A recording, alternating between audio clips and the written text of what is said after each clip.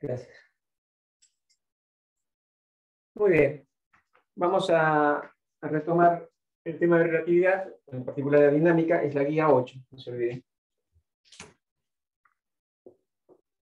La última guía de la materia. Pero bueno, lo que hemos visto hasta ahora es, digamos, tanto en la teórica como en la parte cinemática, es que uno describe eh, una, digamos, magnitudes en el espacio-tiempo, que serían la parte eh, temporal y un vector X. nosotros podemos llamarlo de esta manera. X0 con índice 0 es una convención X1, X2 y X3. Estos índices 1, 2, 3 nos recuerdan simplemente la parte espacial y el índice 0 sería la parte temporal.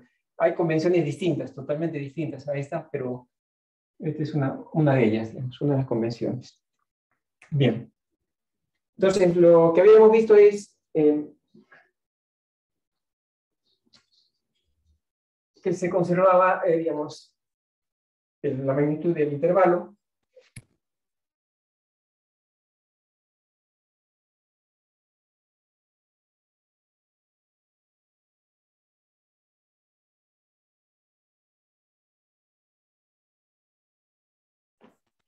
Bueno, eh, les estaba mencionando que, digamos, esto sale, esta ecuación de transformación salen de la conservación del, intervalo, que sería una especie de longitud, no, eh, digamos, no positiva ni negativa, que puede tener valores positivos, negativos o cero, y que uno lo puede escribir para el caso general de esta manera. Son las relaciones entre las coordenadas en un sistema S y un sistema privado.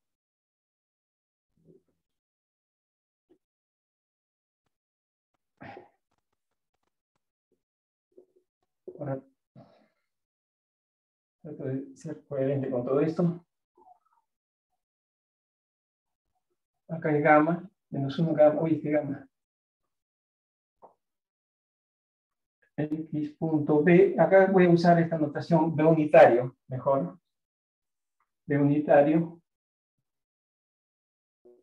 menos gamma X0 beta. Es mejor tener esta ecuación Así uno ve las partes espaciales y las partes eh, temporales y espaciales como transforman. Y lo que les quería dibujar acá es que es un sistema S donde estamos, o O, llamémosle, X, y hay un sistema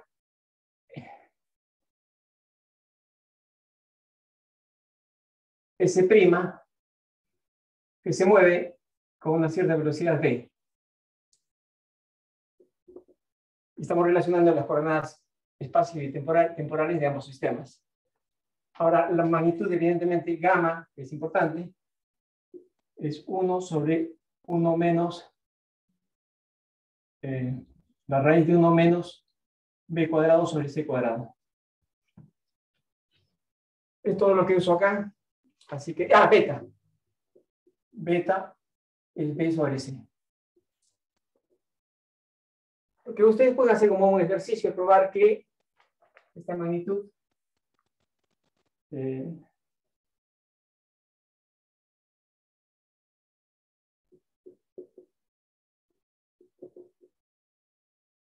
uy.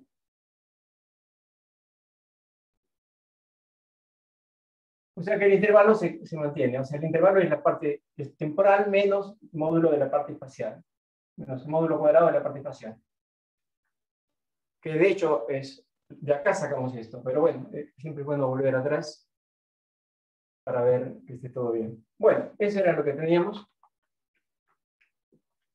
Bien. Entonces, ahora lo que vamos a hacer es ver cómo hacemos con, para ver el tema de la dinámica.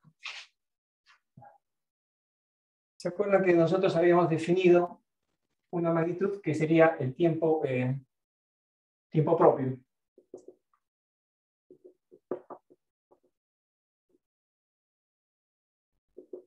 Tiempo propio era usar un sistema en que la partícula está en reposo, de alguna manera, o sea que las cosas pasan en el mismo lugar, y relacionar, eh, de acuerdo a esto, o sea, la relación, siendo la relación lineal, nosotros tenemos este, este tipo de relación.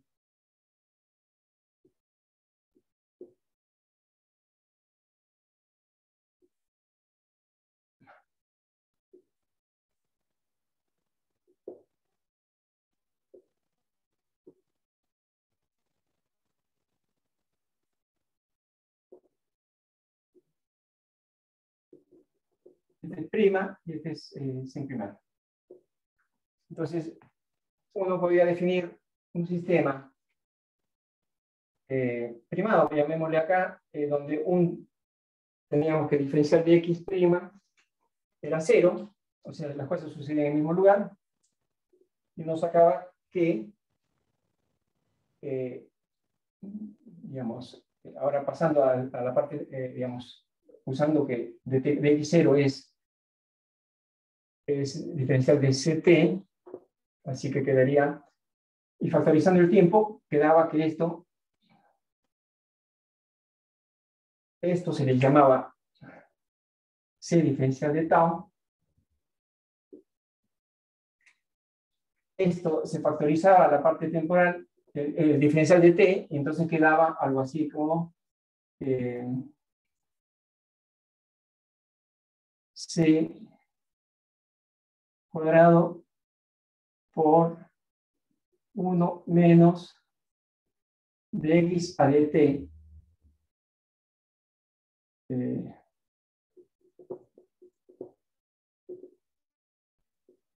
1 sobre c cuadrado. Y esto diferencial de t. Con lo cual ustedes tenían que diferencial de tau, que es lo que yo quiero en realidad, va a ser, era lo que se llamaba, esto llamaban U, porque es la velocidad de la partícula. Entonces, este sería, la diferencial de tau es gamma de U a la menos 1 por la diferencial de tiempo, si no me equivoco. Sí. Toman la raíz y les quedaba algo así. Bueno, la característica de este diferencial del tiempo, que era, eh, es igual al, valor del intervalo de un sistema de coordenadas, y por consiguiente es el valor del intervalo, el cuadrado de esto. Y entonces este es un invariante. Un invariante o un escalar. Escalar de Lorentz se llama. En todos los sistemas coordenados, el tiempo propio es el mismo. Eso es una cosa importante para lo que se llama eh, es un escalar de Lorentz. De todo tipo.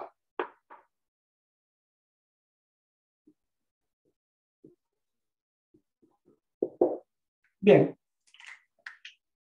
Entonces ahora vamos a, hacer el repaso fácil, digamos, de la analogía o sea, dinámica. La dinámica lo vamos a deducir usando el principio de mínima acción.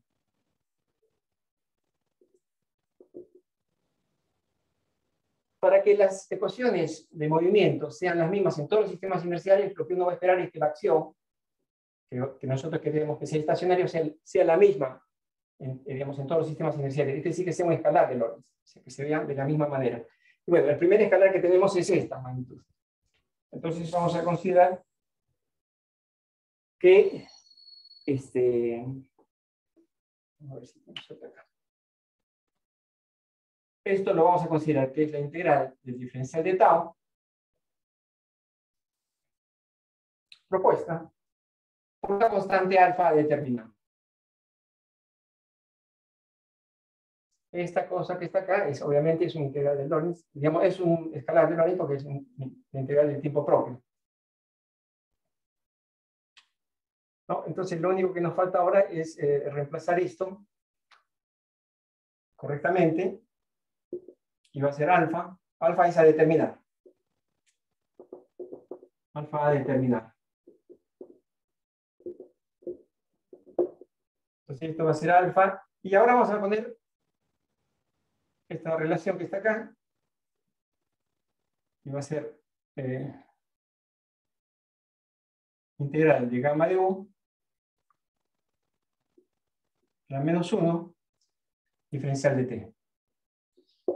Entonces, ahora sí, eh, si bien era esta magnitud, que es, eh, digamos, donde uno ve explícitamente la invariancia relativista, o sea, nosotros estamos acostumbrados para evaluar la dinámica a, hablar de la, del diferencial de t de nuestro sistema de estudio, que es el sistema S. ¿no? Entonces, nos queda esta dependencia eh, en la velocidad.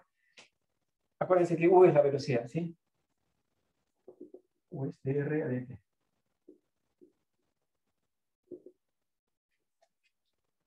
La velocidad en el sistema, eh, digamos, en que uno está estudiando esto, esto no tiene una, expresión explícitamente invariante, pero es invariante relativista. Acá es invariante explícito y acá que no está seguro hasta que no lo ponga de esta manera. Bueno, entonces, ¿qué hacemos? Acuérdense entonces que este es alfa, la integral de gamma a la menos 1 de u no es otra cosa que la raíz de 1 menos u cuadrado sobre c cuadrado. ¿Se acuerdan que era un, gamma es la, 1 sobre la raíz de esto? No, no sé si le escribí gamma, está acá. Este gamma, para este caso, es un gamma normal, digamos que depende de la velocidad de translación. Pero acá, para este caso, ese gamma tiene que ver con la, con la velocidad u. Entonces es un gamma de u. Bien. Entonces queda así. Y ahora lo único que tenemos que hacer es el límite, eh, sí, U módulo sobre C es mucho menor que 1, uno puede hacer una expansión de, de Taylor. Entonces esto que voy a hacer, voy a hacer la expansión de Taylor de esta magnitud. ¿sí? Entonces la acción no relativista sería como alfa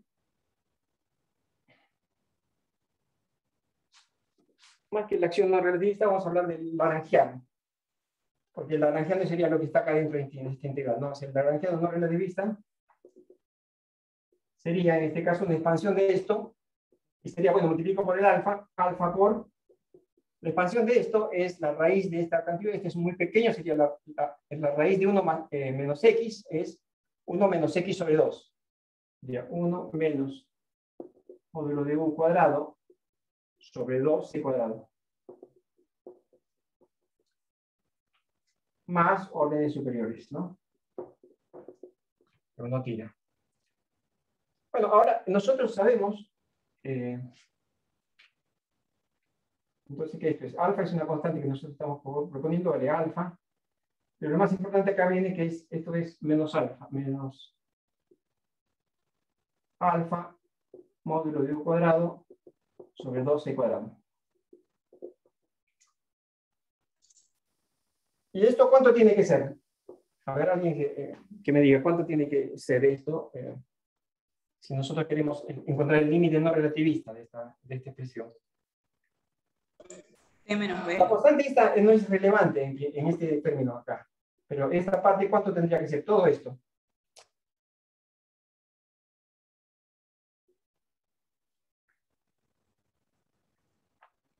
¿Cuánto es el lagrangiano no relativista de una partícula libre? Me olvidé de decir que estamos hablando de partícula libre. Ahora vamos a hacer partícula en campo. ¿Cuánto es la energía cinética o no? ¿No es la energía cinética? Claro, la energía cinética tendría que ser. Entonces, esto tiene que ser mc cuadrado. M, mu cuadrado. ¿No? Con lo cual sacamos cuánto vale alfa menos alfa sobre, menos alfa es menos, o sea, de acá sacamos que menos alfa sobre c cuadrado es igual a m sobre 2. ¿No? Entonces alfa es mc cuadrado, eh, no, el 2 no, el, el 2 está incluido acá. M. Lo que implica que alfa vale eh, menos ms cuadrado. Es una forma muy, muy buena de escribir las cosas bien. Entonces, para que yo recupere la energía no relativista, que es la integral del alfa por esto, yo tengo que hacer que alfa valga menos ms cuadrado. Las unidades son correctas, es adimensional, esto es tiempo, entonces este tendría que ser energía. Y m por velocidad, C es la velocidad de la luz, entonces m por velocidad cuadrado es 100 unidades de energía, así que es correcto. Entonces, esta es el, la acción relativista. Entonces, el laranjiano relativista, no relativista, vamos a relativista, ¿cuánto vale? Menos mc cuadrado, raíz de 1 menos u cuadrado sobre c cuadrado. Acuérdense que acá estamos llamando u la velocidad de la partícula, porque, eh, digamos, para, diferenciar de esta b, que es la velocidad de traslación relativa, b grande, digamos, ¿no? Eh, velocidad relativa de, los sistemas. Pero bueno, es simplemente por esta parte que nosotros usamos. U es velocidad de la partícula, ¿sí? Es esto. Está acá. ¿Mm? Bueno, este Lagrangiano relativista nos permite inmediatamente eh, plantear cuál es el momento eh, relativista. El momento, digamos... Una pregunta. Algo que no me quedó claro. O sea, entendí todo esto que hiciste y, la matemática, pero mm, lo único que no me queda claro es cómo sabes vos que el, el S va a estar dado por, el, por la integral de, esta, de este escalar de Lorentz, de este tiempo propio. Ah, de este específicamente. Sí, solamente eso. lo que uno tiene es, eh, propone eh, distintos escalares. Vamos a ver que hay varios escalares, pero eh, este es un escalar que tiene que ver con la velocidad de la partícula, que tiene lógica para una partícula libre. Hay otros escalares que son triviales, digamos. Por ejemplo, C es un escalar de Lorentz, pero es una constante, más que, digamos. pero esta es una magnitud que depende de la velocidad.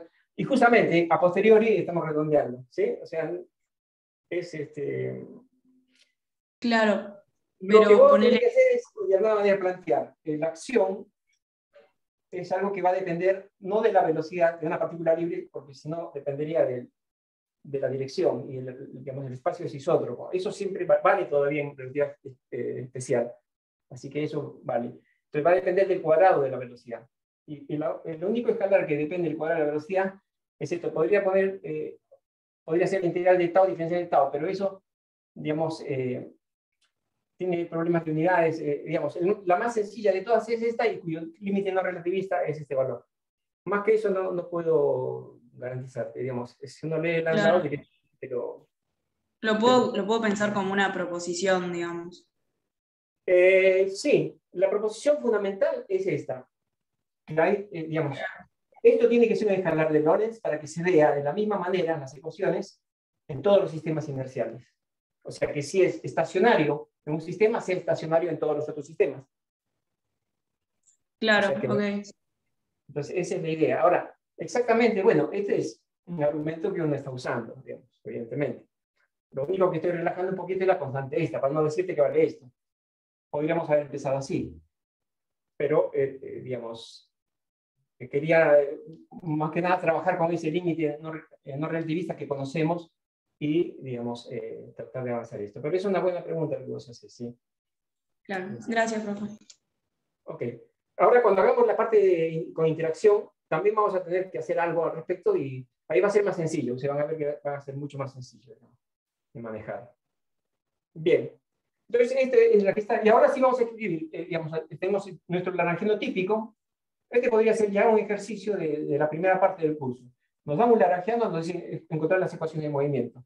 Porque ahora estamos hablando ya en el sistema S, en las coordenadas, eh, eh, velocidades en el sistema S, tiempos en el sistema S. Entonces, ¿se acuerdan cuáles las ecuaciones de Lorentz? Eh, de, mejor dicho, las ecuaciones de movimiento eran el momento generalizado se definía como asociado a, esta, a estas coordenadas, o sea, a estas velocidades, era la derivada del Lagrangiano con respecto a, eh, a U. Acá pongo U, sería como si fuera componente a componente, digo, una especie de gradiente. Es una forma de escribirlo, para no escribir cada componente, ¿no?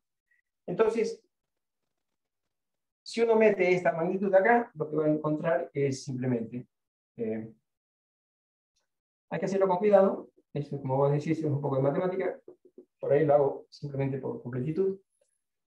Eh, y esto es la regla de la cadena, ¿no? Entonces, este sería la derivada de la raíz que sería un medio de la raíz abajo.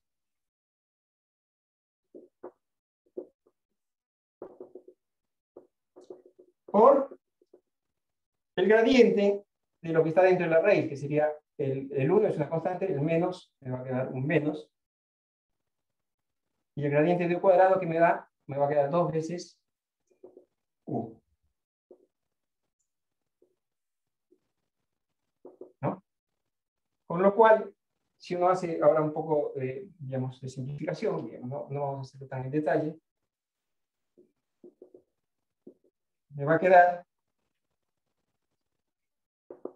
Esto es algo que ustedes lo pueden hacer, es un lindo ejercicio. Con la deriva, menos con menos va a dar más. Entonces me va a quedar simplemente, e, si no me equivoqué, acá es m gamma de u. Eh, bueno, gamma, gamma es, digamos, depende del módulo claramente, ¿no? Gamma de u por eh, u.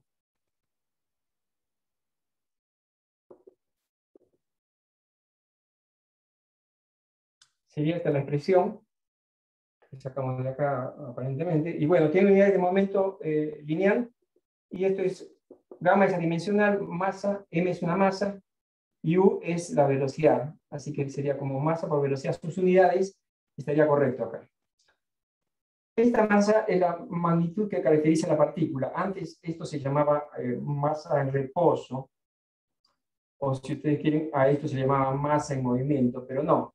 Eh, normalmente se usa como masa es la masa del cuerpo, eh, del, objeto. ¿Sí? Ahora se usa eso nada más. Entonces, lo que sí la relación es esta. Es este valor. Bien. Así como escribimos esto, eh, obviamente que nos queda completar la ecuación de, movimiento, ¿cuál sería? Escribir derivada de, de esto con respecto al tiempo es la, es la derivada del lagrangiano con respecto a las coordenadas, pero no hay dependencia de coordenadas, porque esta es una partícula libre, entonces es cero. O sea, las ecuaciones de movimiento para este caso implican que P es constante. Se conserva. P se conserva. ¿Está bien? P se conserva. Y hay otra magnitud que se conserva. ¿Cuál es la magnitud que se conserva, digamos, según nuestro conocimiento de la mecánica, dado este lagrangiano? Eh, decíamos que era cíclica la coordenada, entonces se conserva P. Esto es lagrangiano no depende del tiempo, ¿no? Y entonces lo que se conserva es el hamiltoniano. Ahora, el hamiltoniano, para un lagrangiano que depende de las velocidades, hay que evaluarlo explícitamente, no, no lo podemos escribir. Así que tenemos que calcular el lagrangiano. Eso lo voy a hacer acá. Y acá sí ya voy a, no sé por qué escribir todo esto. Bueno, ok, sí. Lo dejamos así. Este queda. Ok. Acá vamos a calcular el Hamiltoniano. ¿Cuánto vale el Hamiltoniano? A ver.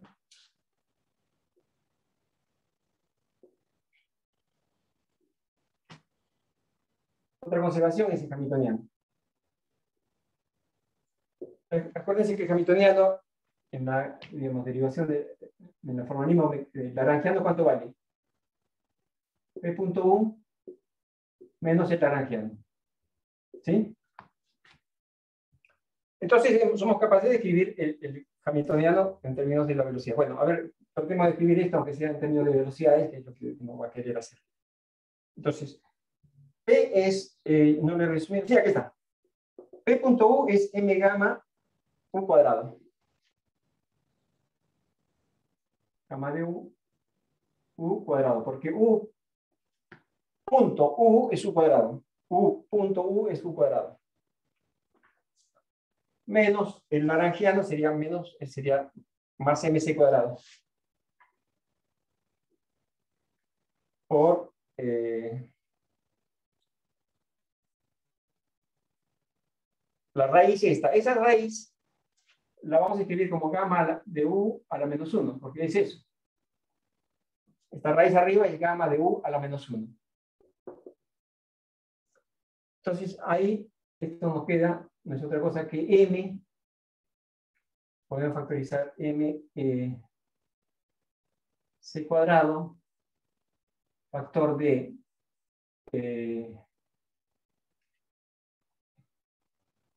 gamma de u por u cuadrado sobre c cuadrado acá. Porque este no tiene el c cuadrado, con c cuadrado se cancela, así que queda perfecto. Más eh, mc cuadrado factorizado, que sería 1 sobre gamma cuadrado. 1 sobre gamma cuadrado, eh, digamos, quedaría 1 sobre gamma cuadrado acá, y ese 1 sobre gamma cuadrado es eh, es el cuadrado de esto, o sea, sería 1 menos u cuadrado sobre ese cuadrado. Con lo cual, tenemos esta magnitud que se cancela. Y acá sí, a, esta magnitud H, eh, en realidad se le llama la energía. ¿Sí? Se le llama la energía. Y le pongo así para diferenciar de los campos eléctricos. E, lo hago así, la energía energía relativista. O sea que la energía relativista que se conserva, que es el hamiltoniano de hecho, es otra cosa que mc cuadrado, gamma de u,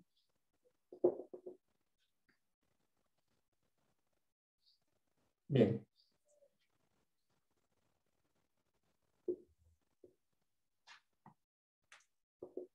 Obviamente, si ustedes quieren escribir E en función de P, tendría que, eh, digamos, despejar eh, de, acá es U, pero eso, eh, digamos, tendrían que tomar cuidado porque acá este U acá y U acá, así que tendría que tomar cierto, cierto cuidado. Pero bueno, veamos ahora.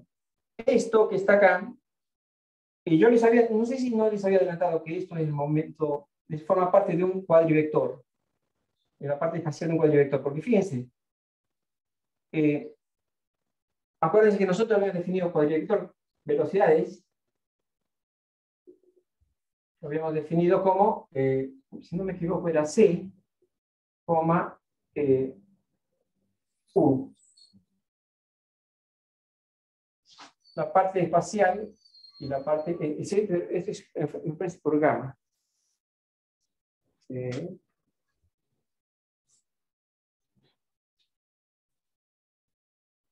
Yo tengo anotado que era gamma por C por U. O sea, un gamma adelante. Gamma factora todo, puede ser, sí. Un gamma adelante, claro. Gamma, es el, gamma adelante. Ese gamma, cuidado que ese gamma. Gamma de U. De U. Ok.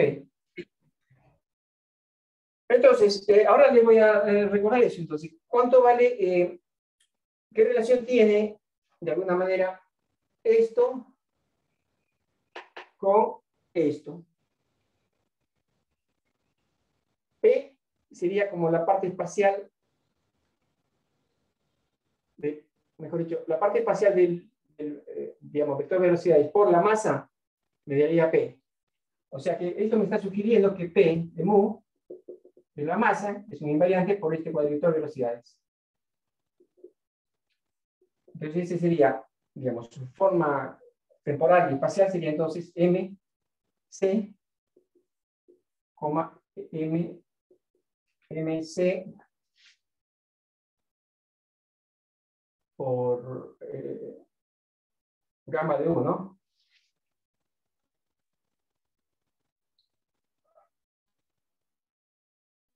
Claro.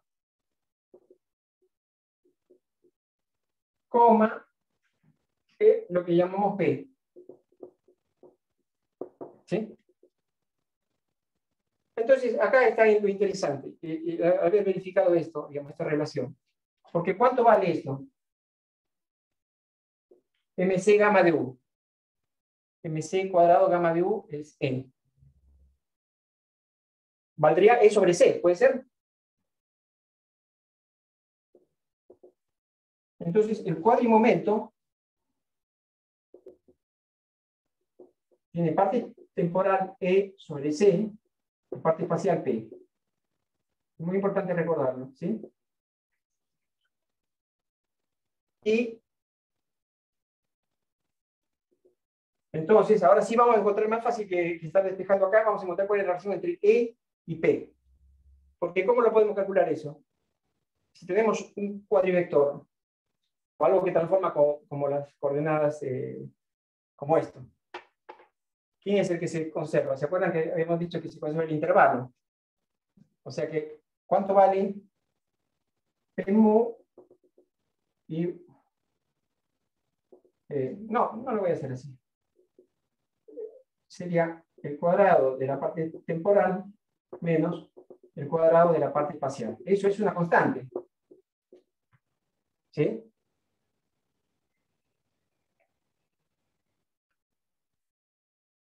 Bueno, ¿y cuánto vale? Bueno, entonces ah, ahora sí vamos a hacer el cálculo, porque tenemos E sobre C. O sea, lo podemos calcular. Reemplazamos esto y reemplazamos este P para ver cuánto vale esta magnitud. Bueno, esa magnitud no sale otra cosa que eh, a ver,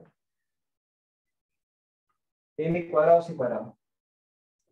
No le voy a fastidiar ahora con esa cuenta, pero es simplemente reemplazar este e y este p, que es muy distinto de estar, o sea, la parte u se va a cancelar. Es muy distinto que despejar de acá el u, que es un poco engorroso, pero bueno, igual en algún momento lo tienen que hacer. Pero esto nos queda, es el este es el escalar de Lorentz que nosotros sacamos de este cuadrivector, el más sencillo de todos. Me queda esto que está acá.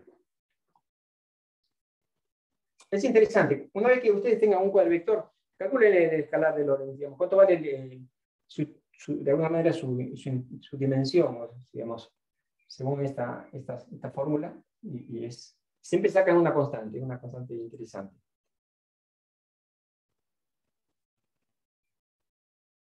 fíjense que hay una cosa importante, que si, si P es cero, es porque si P es cero, porque la velocidad es cero, ¿sí? Si P es cero, porque la velocidad es cero, ¿cuánto vale el E? En algún sistema inercial puede ser que P valga cero, y vale, eh, ¿el E cuánto vale? Si ustedes hacen esta cuenta, no queda otra cosa que, tomando la raíz y todo eso, me queda que es ms cuadrado. Esa es la famosa fórmula que despertó, digamos, un montón de, intrigas, ¿no? Por ejemplo, eh, la carrera de, de conseguir eh, a partir de la masa eh, energía de alguna forma, ¿no? O sea, a partir de la bomba atómica y todo eso, digamos. Inmediatamente se dieron cuenta que, que eso era, habría muchas, muchas puertas, equivalencia más energía. Por eso no se habla de masa, se habla de masa, eh, digamos, de energía o masa, es lo mismo. son dos formas de escribir las mismas magnitudes. Esta energía le puse acá, eh, voy a distinguirla, perdón, esta energía no es cualquier energía, es una energía eh, que se llama energía en reposo. Energía en reposo. O sea, los cuerpos tienen energía aún en reposo. Eso es lo interesante. Aparte, esta es una magnitud monstruosa. Es grande, es grande, es grande. Como piense que es una cinética de un cuerpo a, su, velocidad de luz. Es una locura. Así que esa energía queda y es, el valor menor de la energía que tiene es ese valor. Eso es interesante. Bueno, yo creo que de acá podemos pasar a, a ver, otra manera de, eh, bueno, acuérdense entonces, eh, es esto, y acuérdense que el U mu, que habíamos dicho, es derivada de x mu con respecto a tau. A su vez, un mu no era otra cosa. Lástima que este es mu y este es u, pero bueno. Un nu es derivada de x nu con respecto a tau. A tiempo propio. Entonces, es una... ¿Por qué un nu es un cuadrivector? Porque es, la de, es el diferencial de x nu, que es un cuadrivector, dividido un, a un variante de Lorentz, así que no, no cambia, sigue siendo esto, con, transforma como un cuadrivector. Esto también ya lo usamos, es razonable. Y acá la relación más razonable todavía es esta, que es la que estamos escribiendo y tenemos esa relación justa. Justamente es la que... Pienso que esto, eh, conclusión, digamos, eh, eh, el cuadrimomento se conserva, una partícula libre. Esto es una magnitud conservada y en realidad hay que tener cuidado porque, digamos, sí, o sea, en todos los sistemas inerciales eh, esta relación transforma de acuerdo. Yo les podría preguntar, una buena pregunta, ¿cómo se transforma la energía y cómo se transforma el momento cuando yo paso de un sistema S a un sistema S'? ¿Cómo lo harían eso? Que se mueve a una velocidad. ¿Perdón?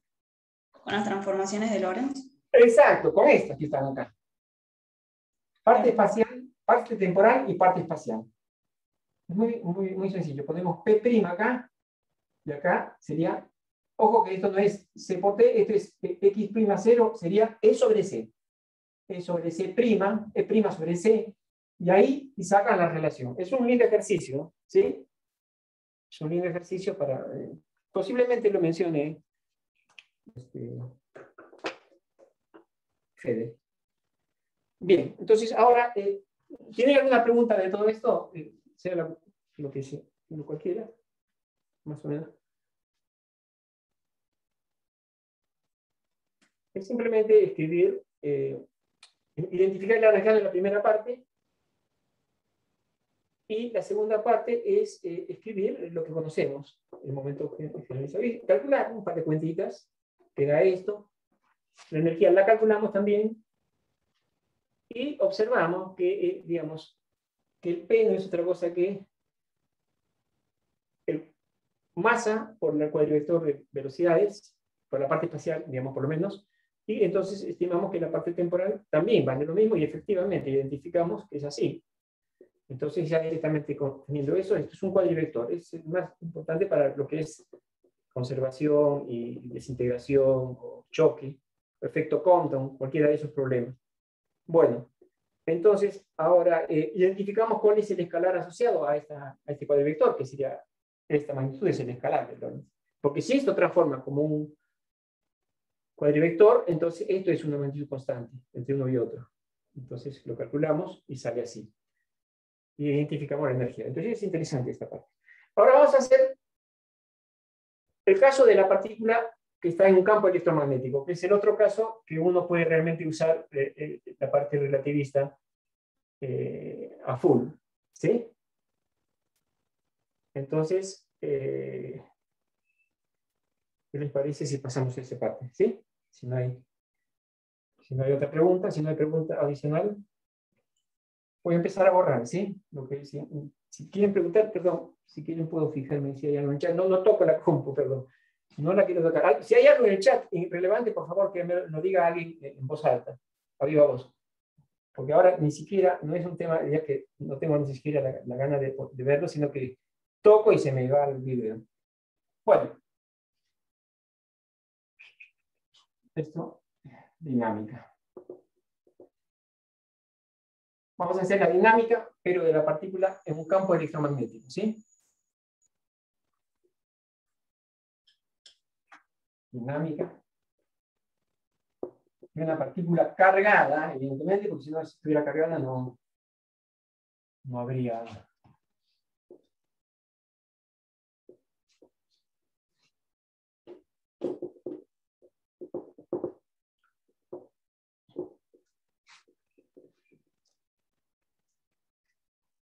Bien, esa parte la vamos a hacer así. Eh. Bien.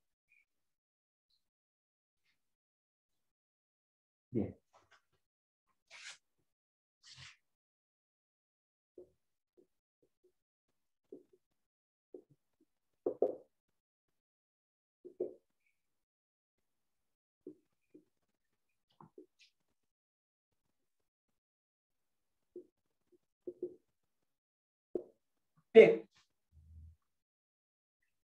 Esto es muy importante, digamos, que nosotros podamos escribir que la, eh, la acción en todo caso vamos a escribir más que la acción directamente el lagrangiano, ¿sí?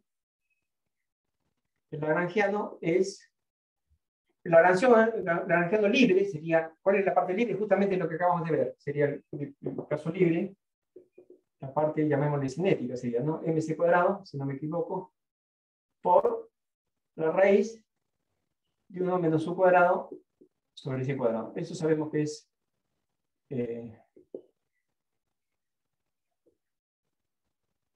sí. Pero acá vamos a hacer así. Eh,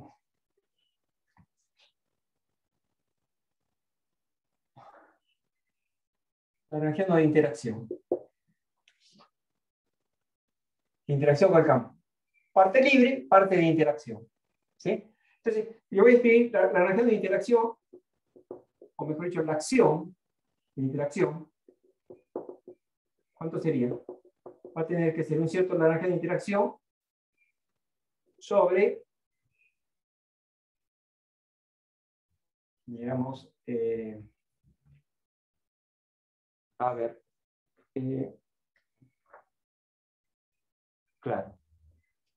Vamos a proponer que sea algo así. O sea, de todas maneras, eh, ah, y un poco también eh, en conexión a la pregunta que recién hicieron, tiene cierta lógica de mantener ese diferencial de tau porque uno va a integrar el diferencial de tau. O sea, lo que es, es lo que es novedoso es que uno se planta acá, no hay nada más de acá.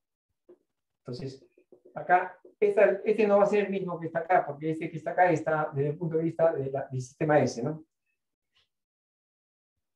Este es en el sistema S. No va a tener una invariancia eh, relativa. Entonces, este es, este es eh, en cambio acá, esto va a ser eh, explícitamente covariante. Vamos a poner covariante explícito.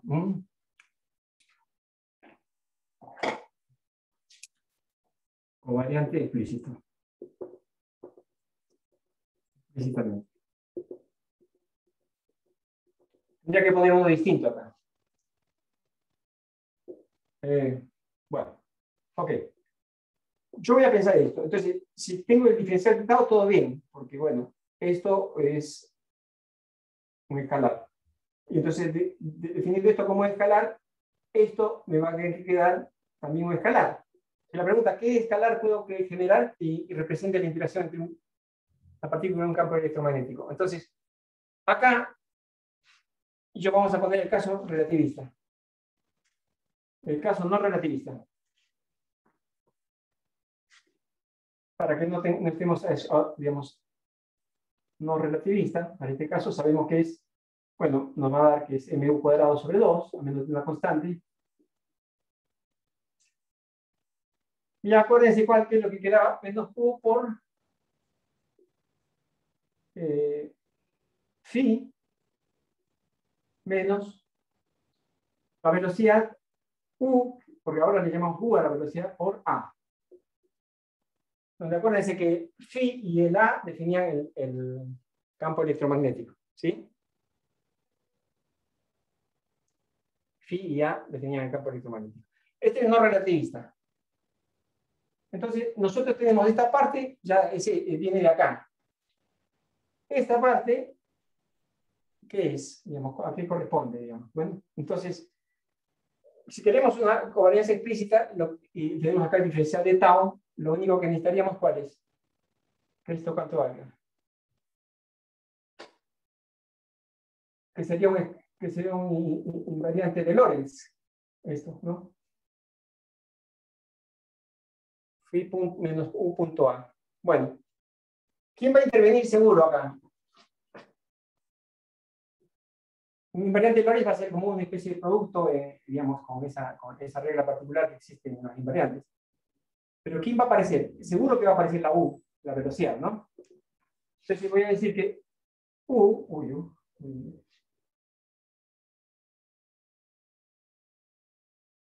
U sub nu, ¿cuánto vale?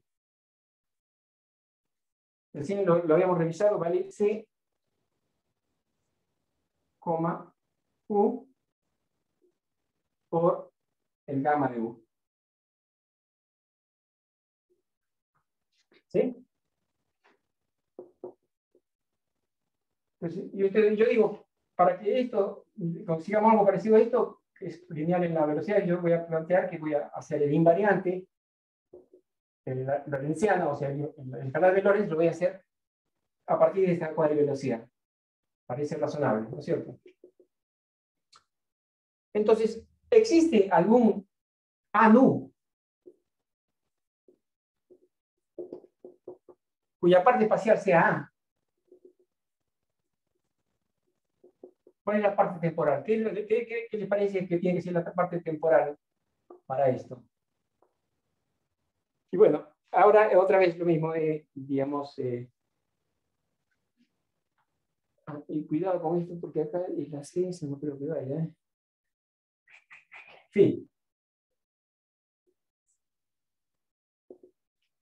Ah, no, creo que sí. A ver. Acá no hay ninguna C, así que va a ser phi sobre C. Proponemos esto. Proponemos.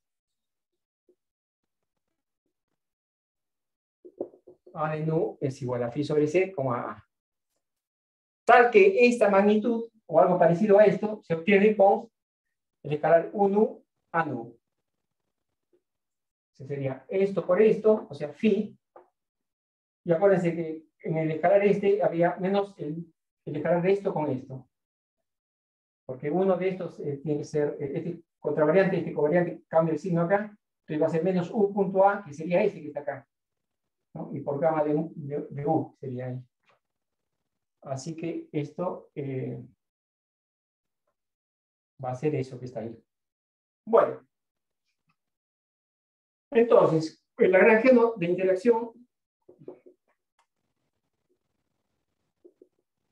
la de interacción, ¿cuál va a ser? ¿Qué es lo que proponemos como lagrangiano de interacción? Simplemente, ANU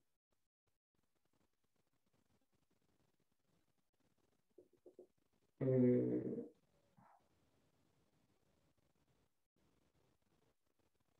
uno.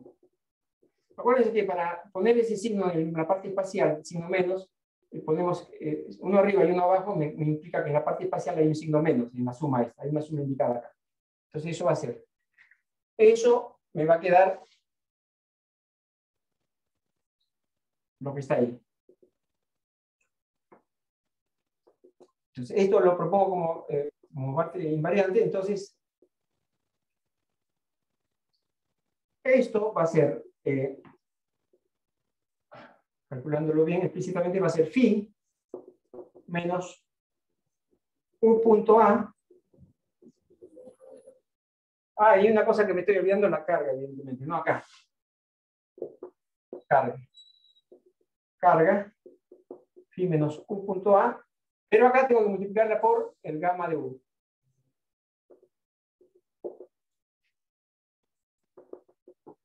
Con lo cual, acordémonos entonces ahora que el diferencial de tau es igual a gamma a la menos 1 de u por diferencial de t. Estos dos me van a poder dar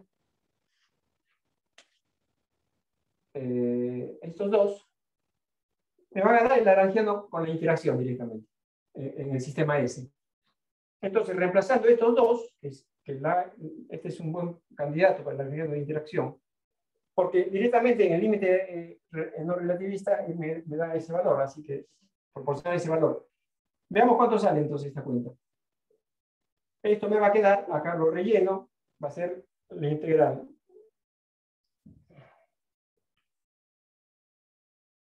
Es evidente que esto va a tener que ser, eh, me olvidé, menos menos la integral de Q phi menos U punto A. El gamma de U con el gamma de U menos 1 se cancela y me va a quedar diferencial de T. En el sistema, esta es la parte eh, invariante, pero este es explícitamente en el sistema S cuánto vale este valor. Y bueno, comparemos esto con el, el laranjiano eh, eh, no relativista, es el mismo. No hay nada que hacer, ningún límite que hacer. esto es igual a esto. Entonces, ¿por qué es, igual a eso? Porque justamente, como comentaba, me parece que Leandro dijo, eh, el, electromagnetismo es justamente eh, invariante, o sea, es relativista el electromagnetismo. Toda la realidad un poco se ajusta, busca ajustarse, a, ajustar la mecánica al electromagnetismo. Entonces, justo nos da la misma, realmente el mismo, el mismo la que sería esta parte. Así que está muy bien. Ahora, entonces, ahora sí, pongámonos un poco en críticos. ¿Cómo es la cosa? Ahora hay algo que no nos gusta. Eh, eh, esto, bueno, lo saca, ¿de dónde lo sacamos? Y bueno, para que un poco resulte algo así. Y al, tratar de resultar algo así, se nos va el gamma de U y resulta ser que es exactamente lo que tenemos no relativista. ¿Está bien? Entonces, lo que ustedes pueden proponer es decir, si esto es un cuadrivector, es un campo cuadrivector, y bueno, eh, realmente es, eh, digamos, no, no es nuestro propósito hacerlo eso ahora, pero es un cuadrivector. ¿Y qué cuadrivector? Fíjense, propiedades lindas. Vamos a ver, propiedades.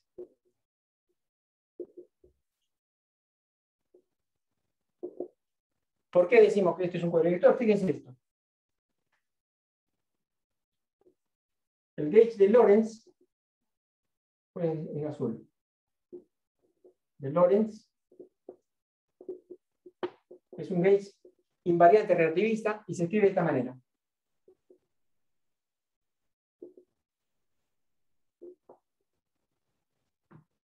Es una escala, o sea que en todos los sistemas universales se cumple el mismo, gauge.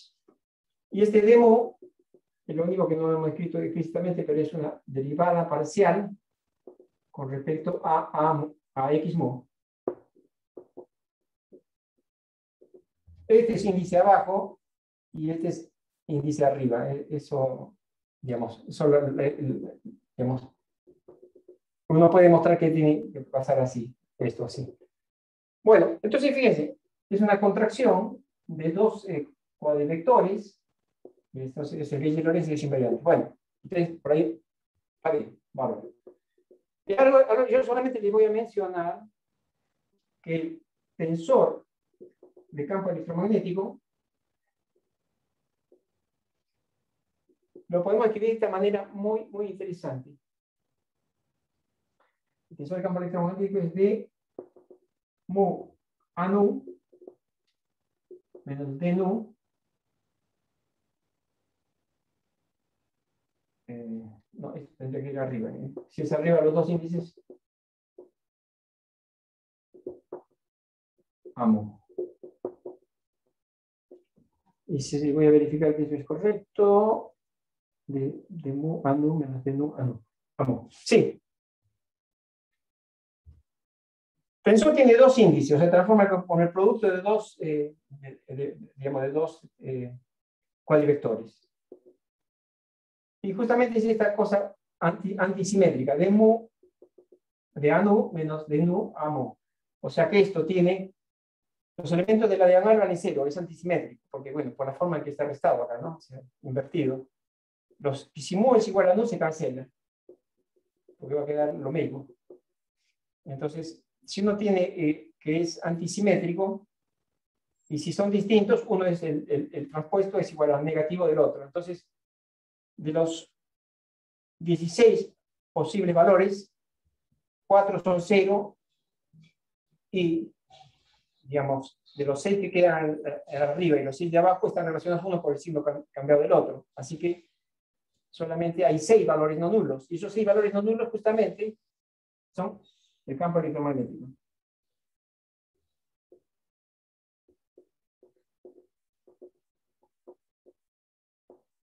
Son tres representan el campo eléctrico y tres representan el campo magnético. No lo voy a escribir, no vale la pena porque no, no, es, el objetivo. Pero simplemente como para ir, reforzando que ese amo es, eh, digamos, tiene esa forma. Y quizás mencionar una, sí. una pregunta. Sí. La derivada esa eh, de mu, que es con, claro, esa que es derivada con respecto a, a x mu, es como una suma de la derivada de cada con respecto a cada componente del X No, no, no, eh, no, cuando está acá sí. Cuando está acá repetido, índice repetido, se suma. Acá es sola una definición del componente mu, es derivada con respecto a X mu. Fíjense que es una cosa curiosa esto, se llama derivada covariante. No es la derivada contravariante. Porque, pero acá estas dos, este X mu es el contravariante, el que nosotros estamos usando siempre, pero este es el, el, que está, el que tiene el índice abajo. En todo caso, si quieren poner el índice arriba, tienen que poner este para abajo. Es simplemente así. Eh, después,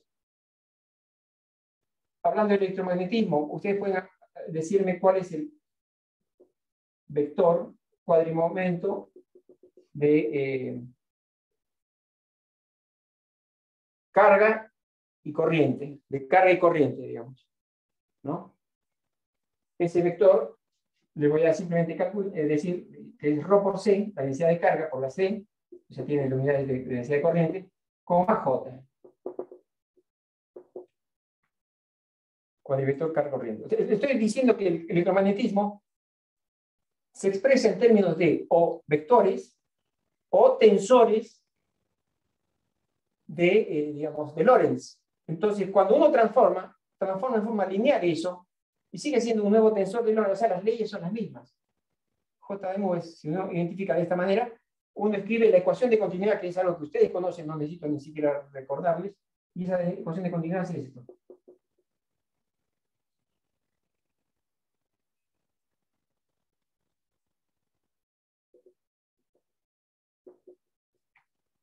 Con esto podemos calcular qué vale eso. O sea que la parte temporal es la derivada con respecto al tiempo, la CT, digamos, de esto, o sea, derivada de ρ con respecto al tiempo, y la parte espacial es la divergencia eh, de, J, eh, sumadas, ¿no?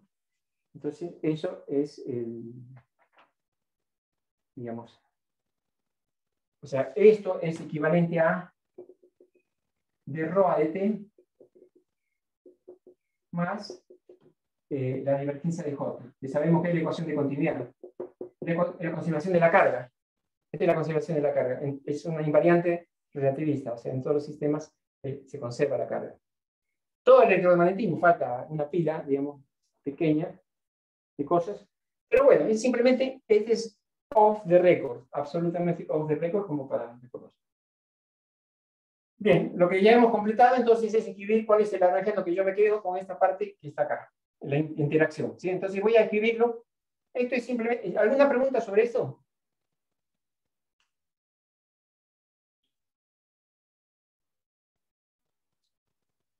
es un poco más complejo la cosa que solamente que uno escribe acá, porque evidentemente al hacer un campo también hay que cambiar las coordenadas, el espacio y el tiempo si uno pasa un sistema, cambia el espacio y el tiempo también, o sea, el argumento de acá.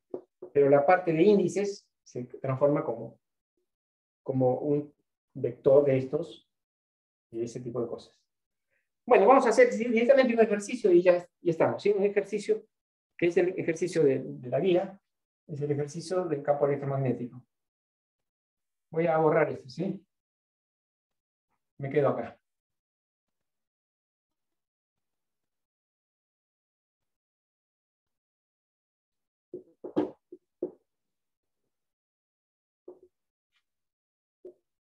Ustedes me dirán, y bueno, ¿cómo yo digo Y bueno, siempre con el, tema de los límites eh, no relativistas, tratar de expresar esas cosas, y además formar buenos invariantes de Lorentz, si se puede, ¿no?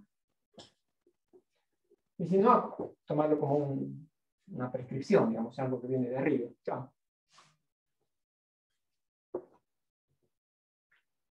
Bien, entonces, esto lo bueno que es fácil de acordarse porque es menos. Ura, ura, no.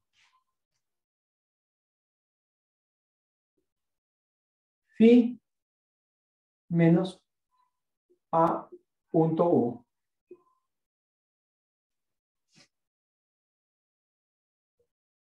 Y este es el sistema S, o sea que la acción es la integral de esto en el tiempo. Acá pongo el diferencial del tiempo, o sea, la acción la acción sería la integral en el tiempo de esto, que es lo que hemos calculado antes, y en el tiempo. O sea que este es el lagrangiano propiamente en el sistema S. No está en forma explícitamente covariante. Para que esté explícitamente covariante habría que multiplicar por gamma U, dividir por gamma U y, empezar a diferenciar tau. Pero esto está escrito así. Entonces, vamos a hacer el ejercicio, creo que es el 2 o el 3, en el cual digamos, tenemos nuestro clásico campo magnético B constante, que es el rotor de A. Esas relaciones siguen variando totalmente, porque ya les dije que el electromagnetismo básicamente eh, las relaciones son las que definen el A. Eh, bueno, entonces eh, hagamos eso, una partícula cargada en un campo eléctrico, o sea, con cero, ¿no? O sea, sin campo eléctrico, solamente magnético. Entonces ahí ya directamente escribimos nuestro lagrangiano y todo bien. Eh,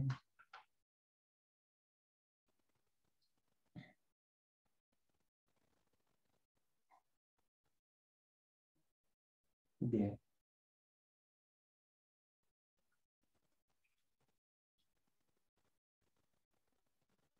Acuérdense que si en todo caso eh, existiera un, si phi no fuera cero, habría un campo E, que es, eh, o también, o si no, si, si, A depende del tiempo, el campo E, esto menos más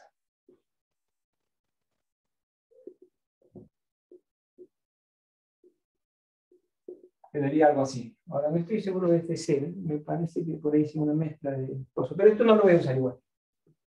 Esto no, no va porque en este caso phi vale 0 y A va a ser constante.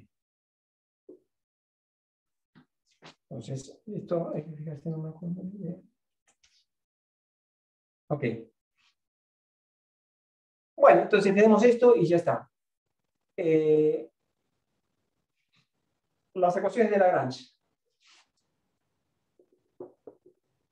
O sea, nos piden el movimiento relativista en ese campo constante. Voy a tener que usar un campo A, de alguna manera, un campo A, un, gauge, digamos, ¿no? El gauge que vamos a usar va a ser eh, el que nos dice, me parece, y es que es.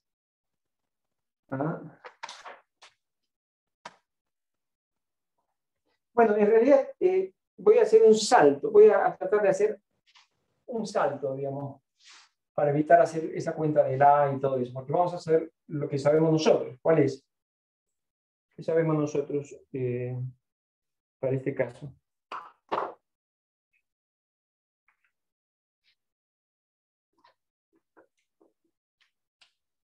Es, escribimos, ecuación de la red, yo necesito escribir el P de L a de U.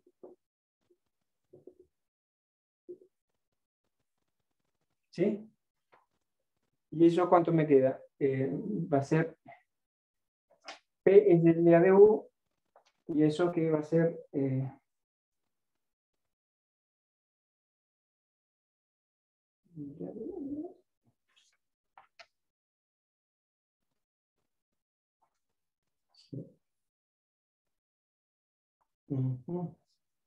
Bueno, esto les dejo yo a ustedes que lo, que lo calculen porque finalmente esto va a quedar algo de este estilo, desde arriba.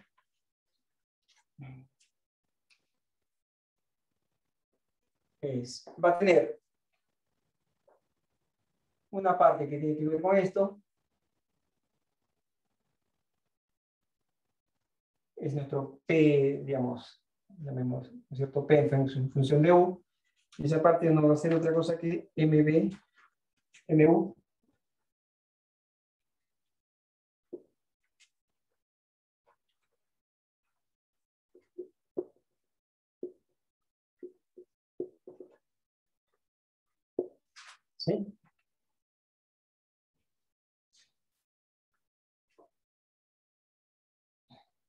Más una otra función, una función h, que digamos, lo pueden ustedes calcular. Yo no quiero entrar en hacer eh, los cálculos específicos para esta, para un A eh, dado, pero sí voy a usar lo que salía de las ecuaciones de Lagrange para este problema. ¿Cuál es eso que salía? ¿Se acuerdan que era d a dt del P normal, que sería este?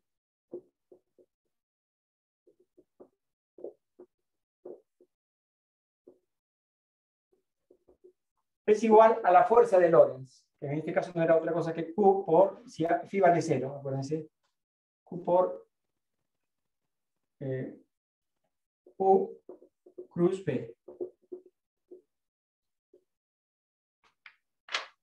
Por U cruz B, la fuerza de Lorentz. Y en caso más general, podrían haber puesto eh, más Q más gradiente de eh, E. Más, más dicho, más E. Pero este estamos diciendo que vale cero, ¿no? Este vale cero. O sea, cuando uno hace toda la cuenta correctamente, las ecuaciones de, la red son estas. Como ya les dije, la parte de esta, esta parte, es exactamente la parte que ya hemos trabajado, que es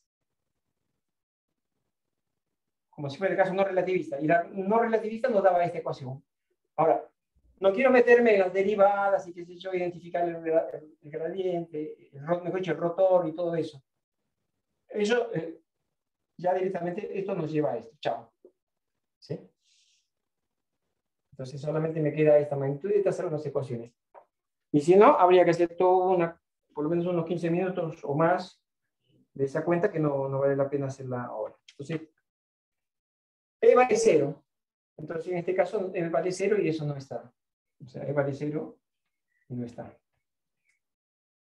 Profe, una pregunta. Sí, sí. ¿Viste cuando derivaste el lagrangiano respecto de U? La parte, del, la parte del potencial. Tienes que ponerla. Tienes que ponerla. Ah. Acá. H. Ah, ok. Porque después cuando derivaste respecto de hecho, tiempo... es sencillo, parece que es cupo, más cupo por A, ¿no? Más QA. Más QA. Pero no me importa, porque toda esta parte cuando haga la cuenta, digamos, la cuenta final, me va a dar como si fuera esta la parte libre, llamarle, que sería esto, y esta es la que me va a dar esto. Porque cuando uno calcula el gradiente de esta magnitud que está acá, le va a salir este tipo de cosas. ¿Sí? Pero después uno deriva en el tiempo a esa, perdón, perdón, no, la derivada con respecto a tiempo, sí, tienes razón. Ah, ok. Derivada con eh, respecto a tiempo de todo esto, pero la ecuación sería esta, derivada de, de, este P con respecto al tiempo. Pero, o sea, si ese es el... Es el derivada ah, del laranjiano respecto a las coordenadas R. Claro, ok. Eh, bueno, vector. Todo esto, este es el que va a llevar al rotor este, a este, a este, este, este, cruz, producto cruz, y al rotor. O sea, eso no lo voy a hacer ahora, porque si no, estamos, eh, va a ser una cuenta, digamos, no infinita, pero larga. Directamente salteo eso. ¿Mm? Claro, pero abajo, cuando lo que tenés dentro de paréntesis, derivada con respecto al tiempo, ¿no te falta sumar el h ahí? No, no, no, no. Todo esto, toda la influencia de este se ha ido a esto. Es un resultado completo. Ah, ok. Toda influencia acá. Acá podría poner el H si vos querés. No, digamos, eh, tenemos que darnos cuenta que es el mismo. O sea, esto no es otra cosa que lo mismo. Si esto daba lugar a la fuerza de Lorentz, ese es lo que va a aparecer acá eh, con respecto a esta derivada del momento P lo único que cambia es la forma del momento P. O sea que acá, eh, digamos, yo lo pongo acá, es, digamos, pero la ecuación del, llegamos a esta ecuación, definitivamente. O sea, puede ser más larga o más corta, pero si llega a eso no hay ninguna duda. Uso lo que tenemos ya de antes, ¿sí? Para tratar de resolver el problema eh, concreto.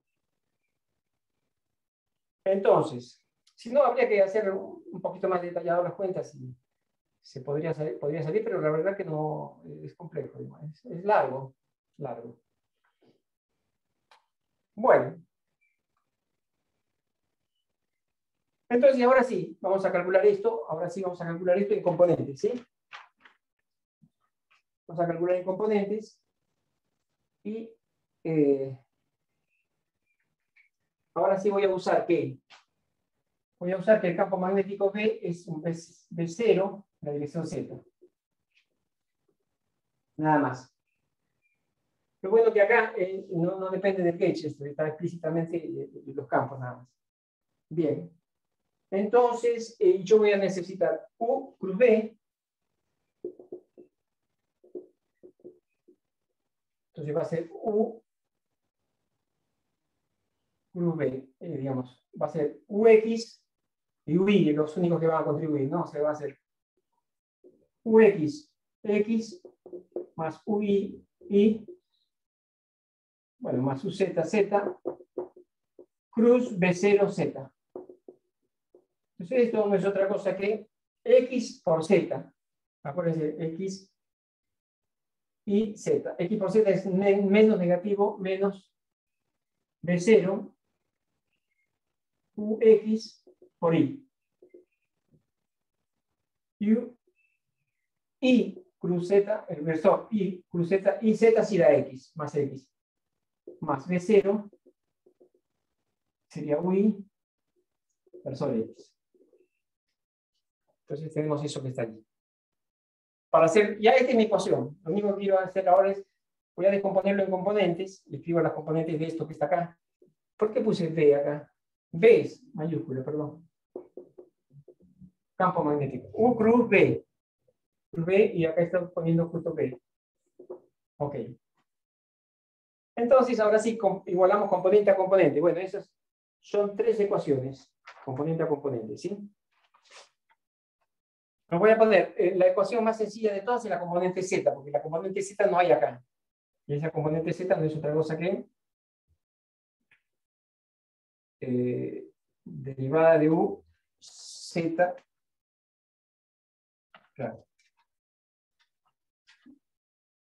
Eh, derivada con respecto al tiempo de, de, la masa por UZ sobre la raíz de 1 menos U cuadrado sobre C cuadrado. Igual a 0. Esta es la componente Z. la componente X y la componente Y. Componente X es muy parecido, pero con UX, ¿no? O sea, T de T.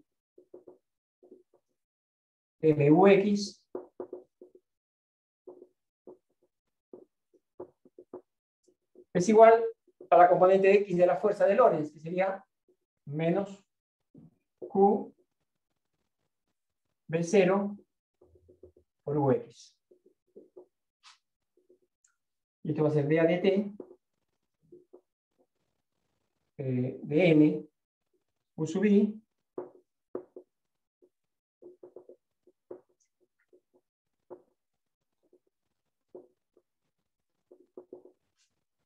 q de 0 u sub i.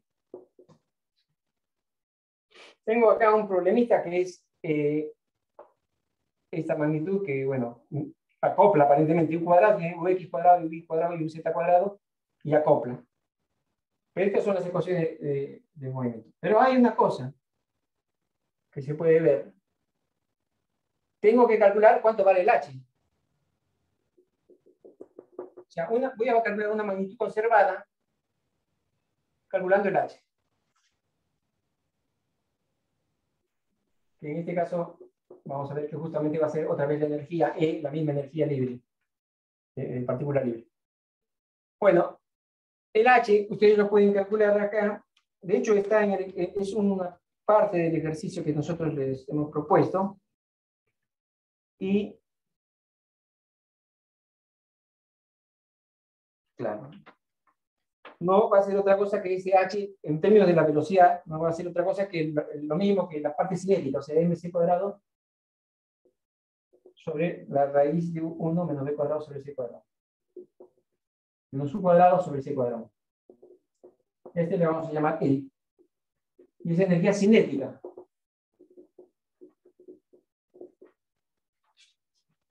O sea, les pido que hagan lo mismo que hicimos con mucho cuidado para el caso libre, ahora incorporando esta parte. ¿Sí?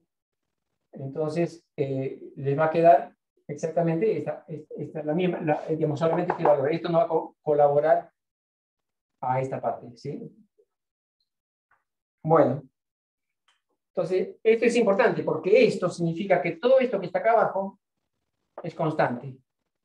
Me va a facilitar esto. Yo sé que por las ecuaciones de... Porque el laranjiano no depende del tiempo, H es constante. Es constante. No depende de T. No depende del tiempo. No depende del tiempo, entonces es constante. Eh, no depende el laranjiano del, tiempo, ¿no? El laranjiano no depende del tiempo, entonces el H es constante. O sea, le, falta calcular el H como corresponde, digamos, pero eh, simplemente es eh, lo que decíamos, es P.U menos L. Así que esta parte se va a cancelar. Y como es P.U va, a reaparecer esto, entonces se cancela. O sea, para este caso, es, si quieren lo haríamos, pero no quiero demorar mucho tiempo. Ahora quiero más bien... Entonces, si esto es constante, esto que está acá es constante. Entonces, de la derivada sale afuera. Y de acá entonces implica que OUZ es constante. Más o menos lo que nosotros conocemos en la dirección Z se mueve con, digamos, en la dirección del campo magnético, no hay ninguna fuerza y por consiguiente se mueve con velocidad constante. Acá sí hay un acoplamiento, porque esto es, y acá me he confundido totalmente, porque este es U, X, que sería, que es B0UI. Si no, sería mucho más sencillo. Este es menos B0UX. O sea que esto es eh, X está acoplado con Y y Y está acoplado con X en la derivada acá, ¿no? Entonces, eh, bueno, eso lo podemos sacar. Se puede resolver, lo vamos a tratar de resolver un poco más. No sé si estoy con mucho tiempo, ¿no? Si media. Si media. Un ratito más, ¿sí? Plan. Lo único que voy a hacer es desacoplar estas ecuaciones. Ahora, estas ecuaciones, ¿cómo se desacoplan? Les voy a decir. Voy a decir, esta es la ecuación 1, ecuación 2. Voy a formar, eh, vamos a hacer así, esta es la ecuación... Eh,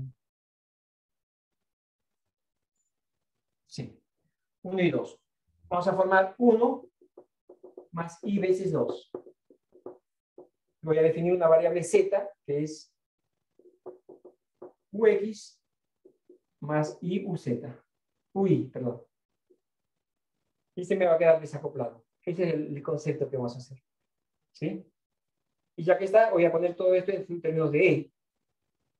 Acá no me importaba, pero acá voy a multiplicar este. Eh, esta M la voy a dividir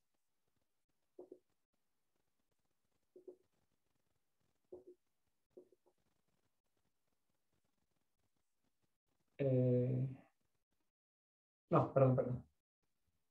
No, no, no es así. Acá aparecía el n, ¿no? Lo que voy a hacer es, para que sea E, ¿qué tendría que ser? Multiplicar por C cuadrado a ambos miembros. C cuadrado a ambos miembros, ¿sí? Y voy a multiplicar por C cuadrado. C cuadrado. Y eh,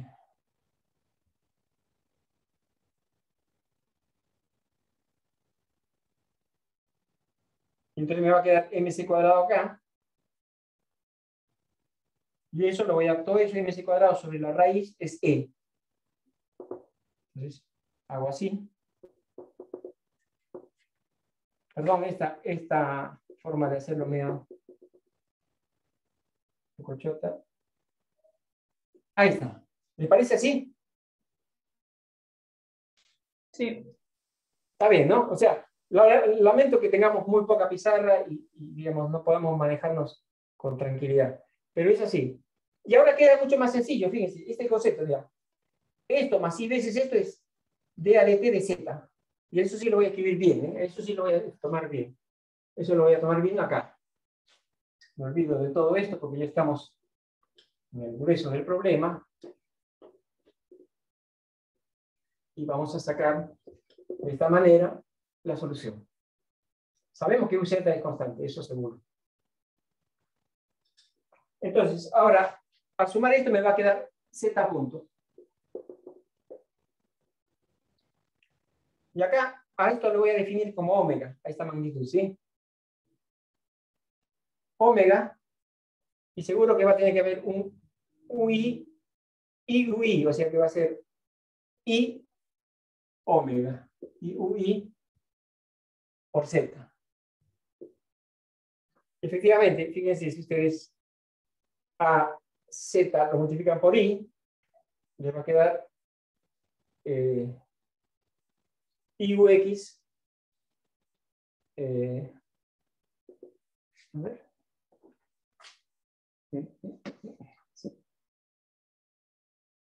Menos I, menos I, menos I. Esto en realidad va a ser algo así. Menos I omega, omega por Z. Con omega, que va a tener que ser este QB0 sobre por C cuadrado sobre I. ¿Sí? QB0, este omega va a ser la frecuencia. La frecuencia digamos, de, en que va a girar la partícula, porque la, solución va a ser una, digamos, como en el caso relativista, no relativista, va a ser un círculo, va a estar haciendo círculos con esta frecuencia. Bueno, entonces digamos otra vez, entonces acá le queda E omega UI, acuérdense que es I por UI, que es esto, I, I por UX. Entonces, por eso menos i por ux, o sea, menos i, como es menos i factor, y va a ser ux, y seguro que va a ser más iui, porque va a ser en la parte real, que sería, eh, y por esto va a ser menos por menos a más, va a ser exactamente lo O sea, esto está bien. Con cuidado, lo ven que esto es así. Entonces ya está. ¿Cuánto vale z?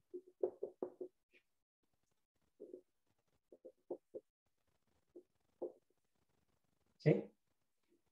Y esto lo voy a poner eh, un Z, y yo llamaría Z0, mejor, porque Z0, Z0 es complejo.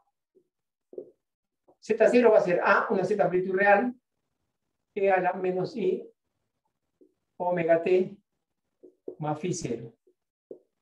Z0 es módulo, fase E a la menos I, phi 0.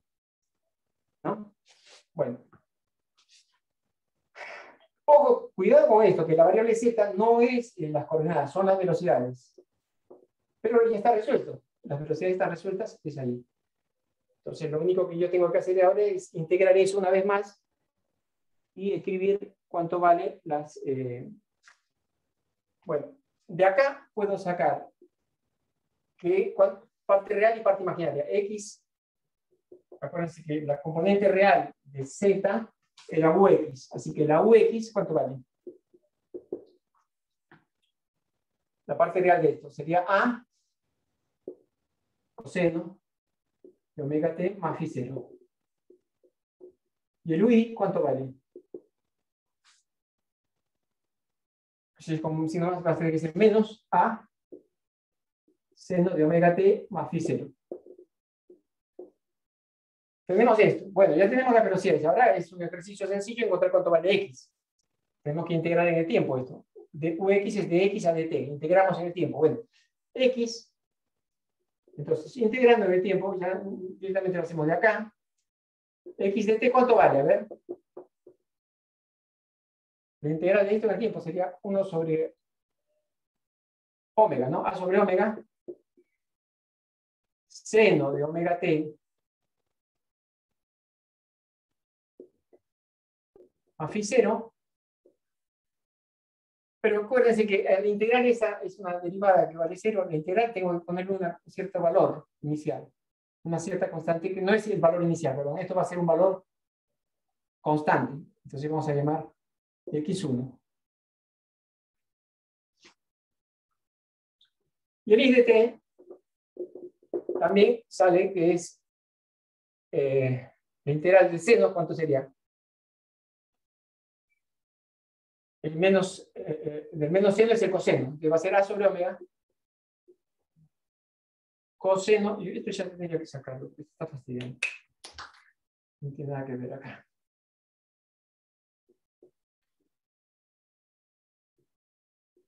Coseno de omega t más phi 0 más i1.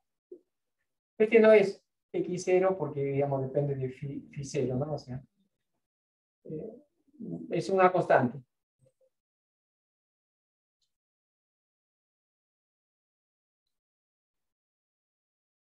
Bueno, entonces es lo que les decía. Este, esta ecuación, ¿cuál es? x menos x1 al cuadrado más y menos y1 al cuadrado. Esto implica que la ecuación es esta.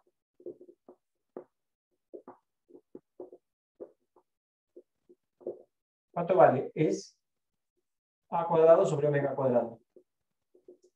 Pero es otra cosa que el radio cuadrado de la órbita. ¿Sí? Bien. Entonces, el radio de la órbita depende de este valor A. Entonces, finalmente, ahora lo que voy a relacionar es, bueno, no pueden calcular cuánto vale ese radio, que de hecho es, un, es parte del ejercicio que les eh, estamos pidiendo en la entrega. Simplemente les voy a decir cuánto vale ese radio, ¿sí? O sea, les voy a... o sea, ustedes pueden, se les pide cuánto vale, me parece, o se les da el valor, no me acuerdo. De acá pueden sacar que el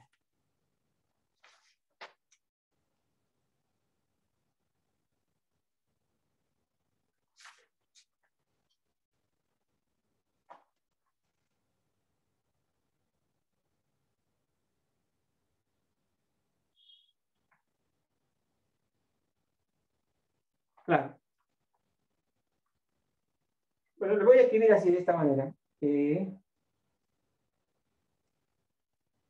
R cuadrado, fíjense, R cuadrado, ya ustedes pueden calcular si reemplazan cuánto vale el A.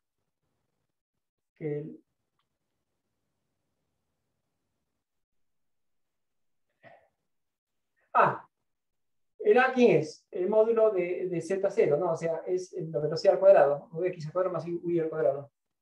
¿Sí? O sea, en A cuadrado.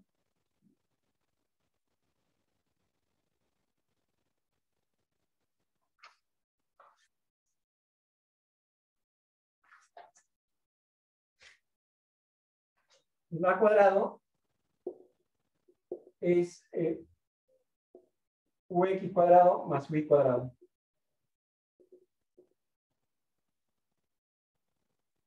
Entonces, eh, nos queda esa expresión. Pero lo que sí sabemos que es, es la energía E. Eso porque lo hemos construido de acá. Bueno, esto lo podría seguir trabajando para expresar el radio, ¿sí? En función de la energía. La energía de la partícula, que sería la energía relativista, E. Bien, entonces simplemente ahora eh, Quizás ahora lo que vamos a hacer es una interpretación. ¿Cuánto vale la frecuencia? Bueno, aquí está. Esta es la clave. El radio, eh, yo no se los doy, creo que se les da en lo pueden calcular se les pide en la tarea, en la tarea digamos, se les pide cuánto vale. Pero lo que sí voy a ver es esta frecuencia. En el caso no relativista, caso no relativista, no relativista sabemos que la frecuencia ¿cuánto vale? Es QB0 sobre M. Y efectivamente, en el caso no relativista, ¿cuánto vale de la energía cinética? Acuérdense que E era en la expansión de la energía es mc cuadrado más la energía cinética. Entonces, E es mc, decíamos, mc cuadrado, entonces queda mc cuadrado, se cancela el c, queda algo así. Bueno, para el caso no relativista sabemos que la frecuencia es la misma. No importa la energía, la frecuencia es la misma. Y entonces, acá eh, viene el tema de lo que yo les había propuesto, que era el ciclotrón. Ciclotrón, que fue, creo que fue construido en Berkeley, me parece. Es básicamente una forma de, uno de los primeros aceleradores de partículas. En este caso creo que eran de electrones. Básicamente es así. Acá había un campo magnético constante.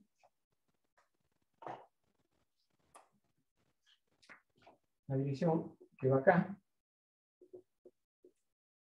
Y teníamos dos cilindros metálicos separados así, o digamos, separados por un dieléctrico, digamos, básicamente. ¿Y qué es lo que pasaba? Una partícula ingresaba, imagínense, ingresaba una partícula por acá. Ingresa una partícula. Y lo que se hacía es, eh, esa partícula se le eh, estos dos se, le alternaba con una diferencia potencial. Esa diferencia potencial era básicamente, podía ser básicamente una función positiva y negativa. Una, fase, una parte positiva y una fase negativa. Entonces, si entraba, digamos, eh, por acá y, digamos, eh, se le ponía una fase negativa, entonces se aceleraba, iba de una, de una, de una potencial más su cero a un menos su cero, había una energía cinética que se adquiría, entonces se aceleraba. Al acelerarse acá, igual daba la vuelta. Muy exagerado acá. Y justo como nosotros sabemos a cuándo es que da la vuelta, porque la frecuencia es la misma, se alterna acá, cuando está llegando acá, sabemos cuál es, digamos, eh, lo que sabemos es la frecuencia, no me importa ni siquiera con qué velocidad está acá la frecuencia es la misma. Cuando está llegando acá, se alterna, eh, se le cambia el signo y entonces otra vez se acelera. Y así, empieza a acelerarse. Y al final sale por un tubito acá, un hueco. Con una cierta velocidad. Es el principio del ciclotrón. Es muy bueno porque es simplemente que la frecuencia, sabemos cuál es la frecuencia, y entonces aplicando estas, digamos, cambiamos el signo justo cuando eh, eh, eh, la carga se está acercando. Entonces ahí le inyectamos energía. Cada vez que cruza, se inyecta energía. Bien, perfecto. Pero ahora, en el caso relativista, ¿qué pasa? Omega es igual a Q de 0 C cuadrado sobre E. Acuérdense que E depende de la velocidad. O sea que esto, este omega va dependiendo, mejor dicho, el omega depende de la energía, de cierta manera, a través, digamos, de la velocidad. Entonces, este concepto ya no vale así universal. Lo que hay que sincronizar, sincronizar para ciertas partículas, para cierto conjunto de partículas, digamos, evidentemente, esto. O sea, primero empezamos con una frecuencia más o menos constante, normal, pero a medida que va adquiriendo energía, y eso es una forma, se, hace un chirping de esta señal, o sea, se le empieza a cambiar la frecuencia en el tiempo, se le va haciendo, se le va aumentando, la frecuencia va a ir disminuyendo, entonces va haciéndose más, cada más lento, más lento, y se se los engancha de esa manera, se sincroniza. Hay que sincronizar. Sincronizar esta señal, que es la que alterna, la que acelera las partículas finalmente, con esta dependencia. Por eso, ¿cómo se llama esto? Este aparatito, el, que sincroniza y que sirve para llevar las partículas a energía relativista, ¿cómo se llama? Sincrotrón. ¿Cómo? Sincrotrón. Sincro, ciclotrón. O sincrotrón, ah. creo. Creo que realmente lo que vos decís está bien también. Pero yo lo voy a hacer así, ciclo, ciclotrón. O alias sincrotrón, sería más, más, eh, más compacto, y está bien. Sincro, ciclotrón, un ciclotrón sincronizado. Y eso sí llevan a partículas relativistas, ¿sí? A velocidades, a energías relativistas a las partículas. Pero obviamente estamos hablando que ya este cilindro tiene que ser más grande, porque el radio crece con la, no hemos encontrado acá, pero el radio crece con la. Ahora, eh, en, la, en, la, entrega que les hice, y el problema este en particular que está en la guía, les piden que calculen el radio, mejor dicho, dado el radio que existe en, en el LHC, que son unos cuantos kilómetros, acá está indicado, me parece. Bueno, no lo traje acá. No me acuerdo cuántos kilómetros son. De radio, ¿qué energías, digamos, podemos obtener? Digamos, eh, mejor dicho, eh, creo que la pregunta es sobre el campo B. Si uno quiere obtener energías de relativistas de un cierto valor. Entonces lo pueden calcular con la fórmula del radio, cuál es, eh, y digamos, creo que los campos magnéticos que salen en la cuentita esa son alrededor de los 7 tera, no, 7 Tesla. 7 Tesla, si no me equivoco. No, no, 6, 5 o 6 Tesla. Y los máximos terrestres, digamos, los máximos campos magnéticos terrestres son del orden de los 8 Tesla, me parece. Son con superconductores y todo. Bueno, obviamente no estamos hablando que el ciclo, digamos que en, que en el EHC está lleno de un campo magnético porque no es necesario el campo magnético al medio, para nada. Solamente están, es necesario desviar ¿dónde? En una cierta región, prácticamente cerca en el ring, digamos, si no, no es esta misma situación. Acá sí se hace así, porque uno lo empieza a acelerar. Pero acá ya los pone uno acá y entonces lo único que se va acelerando, el proceso de aceleración es otro. Es una especie de una onda que va, un campo ondulatorio que va empujando, digamos, como si fuera una ola que va empujando, pero a medida que va empujando tiene que dar doblando eso. Y el que dobla son campos magnéticos. Los campos magnéticos que tiene son campos superconductores, digamos.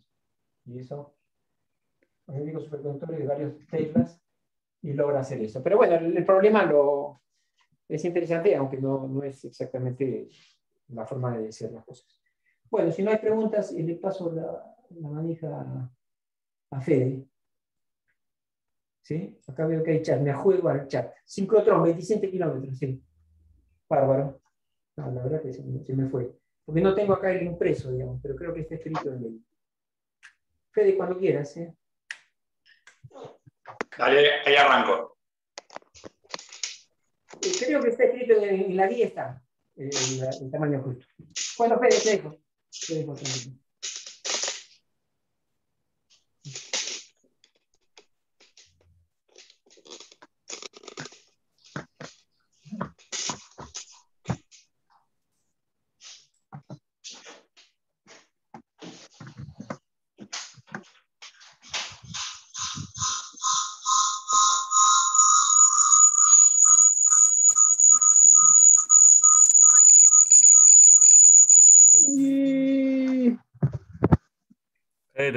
te hizo interferencia. Yo voy a hacer el problema 7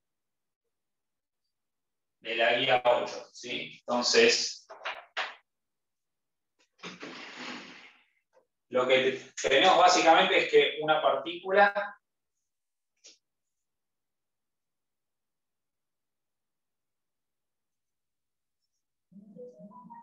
de masa m se desintegra en dos.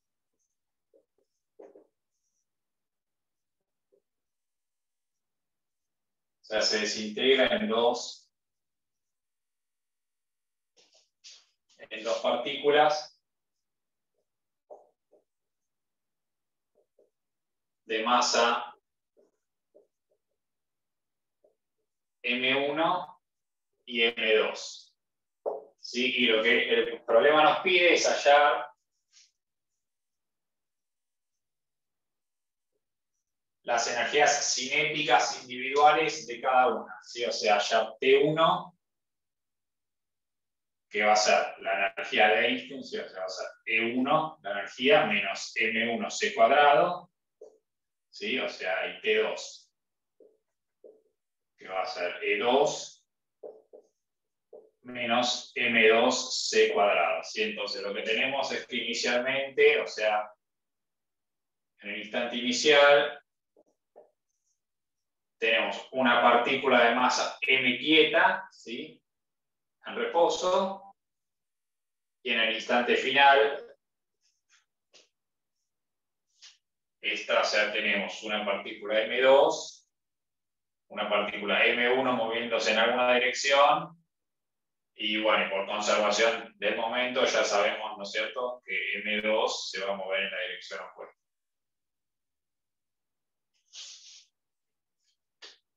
Bueno, entonces, antes de comenzar, notar que si esto ocurriera clásicamente, no se puede, ¿sí? Porque, o sea, clásicamente es imposible. Es imposible porque, digamos, la energía inicial valdría cero, ¿sí? Porque están quietas, o sea, la masa esta está quieta, y la energía final, tiene que ser igual a la energía inicial por conservación de la, energía, así que vale cero. ¿sí? Bueno, pero si la energía final vale cero, o sea, eso implica que las dos velocidades valen cero. ¿sí? Así que esto clásicamente es imposible, solo puede ocurrir por algún efecto relativista. Entonces, habiendo eh, Dicho eso, sí, vamos a comenzar haciendo las cuentas. Entonces, en relatividad siempre se conserva el momento y la energía. No puede conservarse, digamos, no conservarse la energía.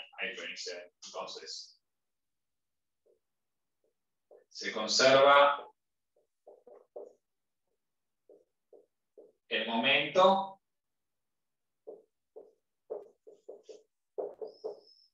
y la energía.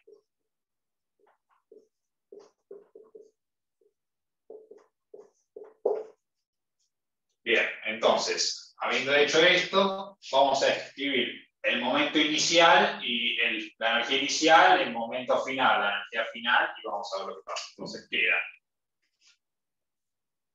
El momento inicial sí va a ser directamente M, o sea, va a ser M por gamma de B inicial, si quieren, por B0, por B inicial, pero la velocidad inicial vale 0, así que el momento inicial vale 0, ¿sí? Mientras que la energía inicial vale m por gamma c cuadrado y como b inicial vale 0, la energía inicial tenemos que es mc cuadrado, ¿sí? Entonces, esta va a ser la energía inicial. Mientras que el momento final va a ser el P final va a ser M1 por gamma de B1 por B1. Acá le saco el vector que depende del más M2 por gamma de B2 por B2, ¿sí? Esto va a ser el momento final.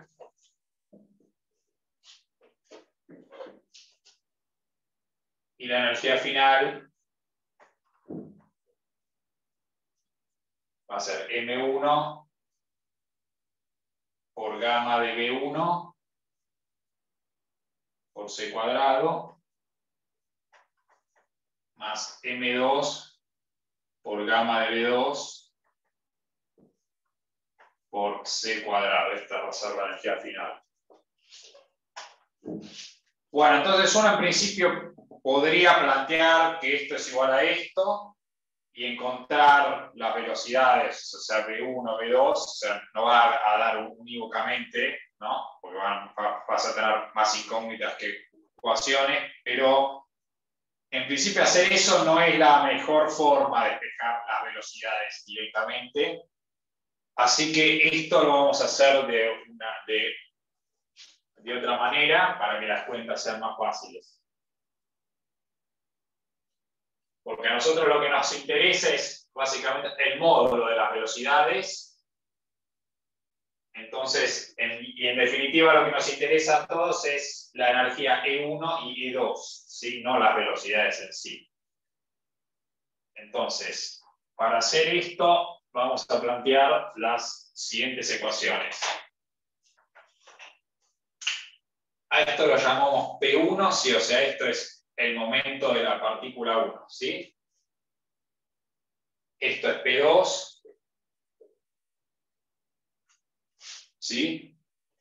Y esto también, esto va a ser E1, esto es la energía de la partícula 1, y esto va a ser la energía de la partícula 2. ¿sí? Entonces, a partir de acá nos olvidamos de las velocidades y solo vamos a usar el P1, P2, C1 y 2. Entonces, las ecuaciones de conservación quedan.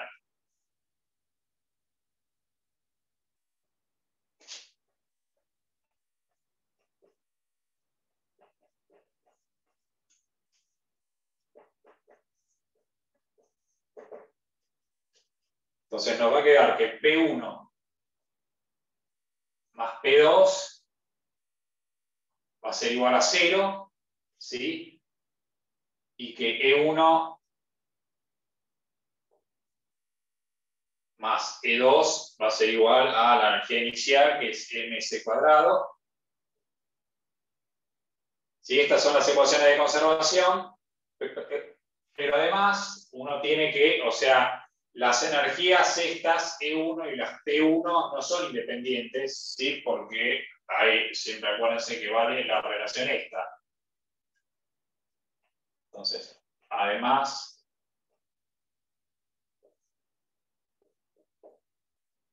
Entonces, además vale que E1, EI cuadrado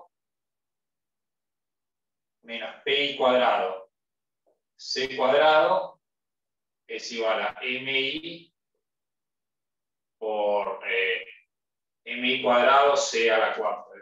¿Quieres por la duda? Por también los, los signos también. Sí, ok. Bueno, entonces nos olvidamos de las velocidades y simplemente vamos a usar estas cuatro ecuaciones. Ya sea, esto, es para igual a 1 y 2. Bueno, entonces, de la 1, o sea, acá esta que está acá, fíjense que esto implica que P1 es igual a menos P2, ¿sí? Y al momento este P1, para que sea más simétrico, lo llamamos P. ¿Sí? O sea, en definitiva tenemos que P1 es, P y P2 es menos P. Bien, entonces así reemplazamos ahora esto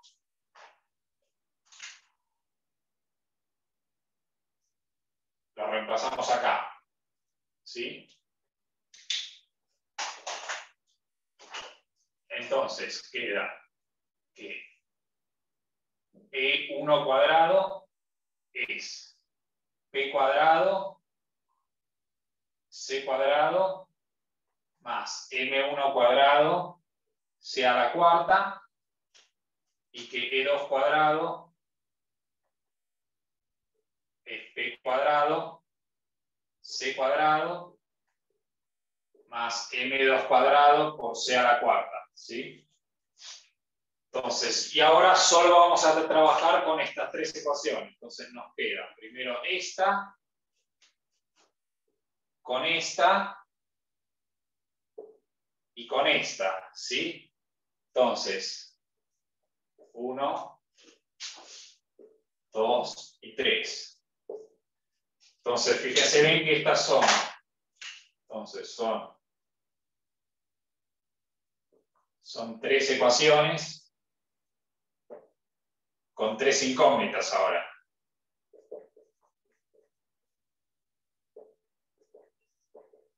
Que son E1, E2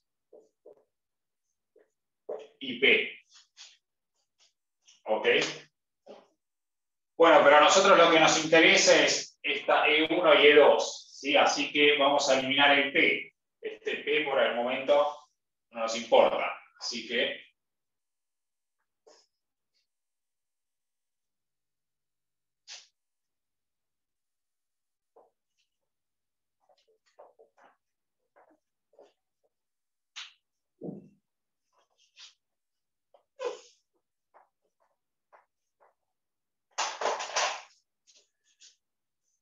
Bueno, entonces lo que vamos a hacer es restar la 2 y la 1. Perdón, la 2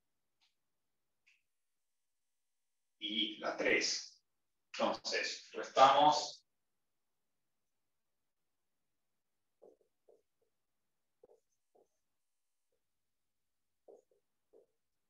Dos y 3, lo que queda es que E1 cuadrado menos E2 cuadrado es igual a m1 cuadrado, c a la cuarta, menos m2 cuadrado, c a la cuarta. ¿Sí? Pero esto lo puedo escribir como, de la siguiente manera. Esto lo puedo escribir así. Entonces queda que E1 más E2 por E1 menos E2 es igual a M1 menos M2 por M1 más M2 por C a la cuarta.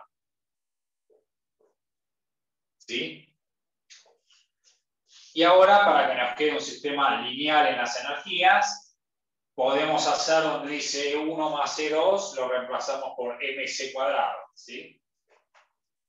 Así que ahora esto, usamos esto. ¿sí? Entonces nos queda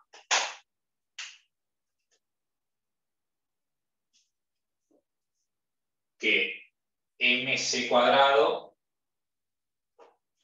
por E1 menos E2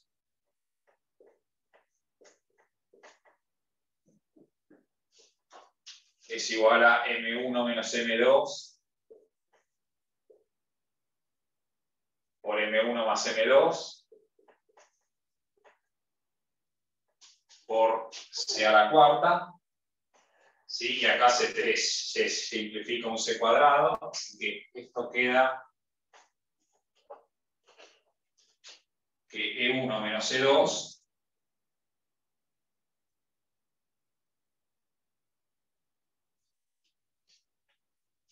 Vale, M1 menos M2.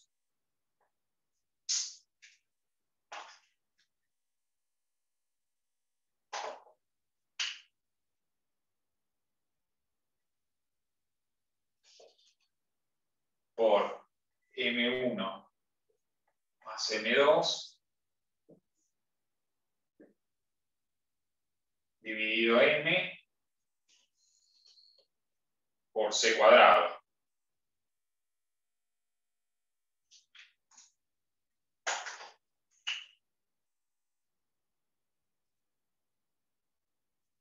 ¿sí? Bueno, y ahora es muy sencillo, porque ahora tengo esta ecuación, E1 más C2 es mc cuadrado, y tengo que E1 menos E2 es esto. Así que si quisiéramos despejar E1 y E2, simplemente hay que sumar y restar, ¿sí? Yo antes de hacer eso voy a dejarlas un poco más elegantes en términos de las energías cinéticas, ¿sí? porque a nosotros nos piden las T, no las C. Entonces, eh, voy a borrar acá.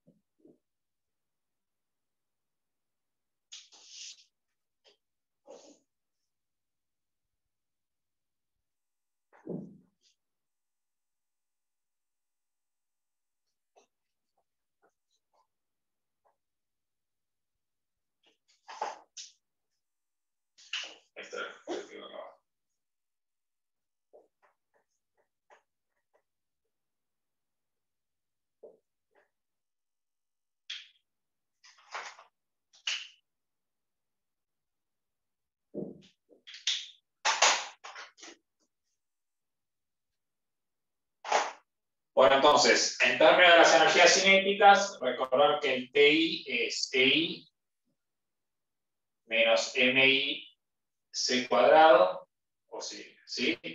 Entonces, en términos de las energías cinéticas, me queda que T1 más T2 eh, va a ser igual a M menos M1 menos M2 por C cuadrado. ¿Sí?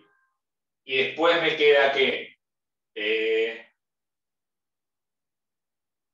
T1 menos T2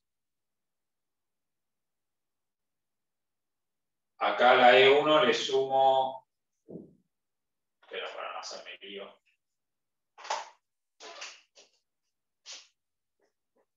T1 más M1 C cuadrado menos T2 menos M2 C cuadrado igual a esto. Eh,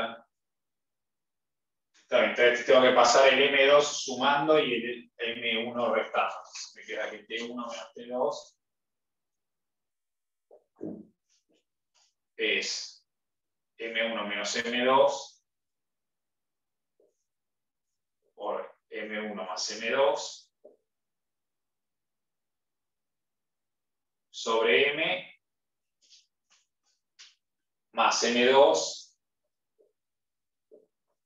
menos M1 y todo por C cuadrado. ¿Sí?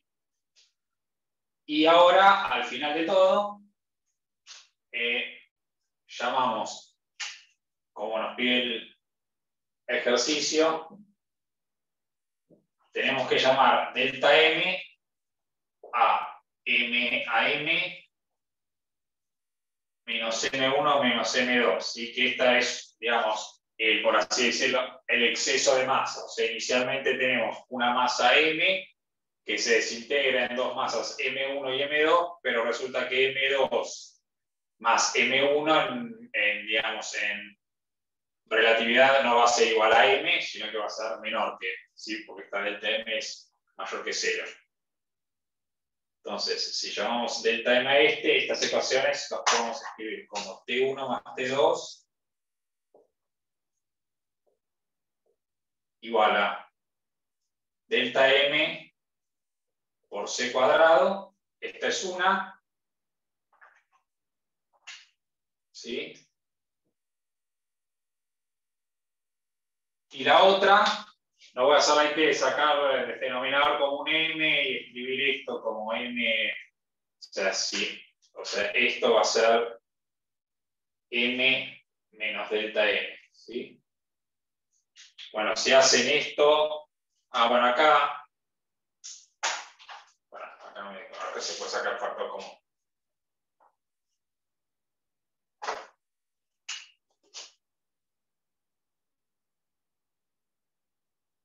Bueno, acá queda M1 menos M2 por M1 más M2 sobre M más 1, ¿sí? Por C cuadrado. Ahora. Bueno, entonces, la otra queda T1 más T2, T1 menos T2. ¿Sí? Perdón, ¿no sería menos 1? Eh, sí, sí, sí, sí, sí, sí, verdad, es menos.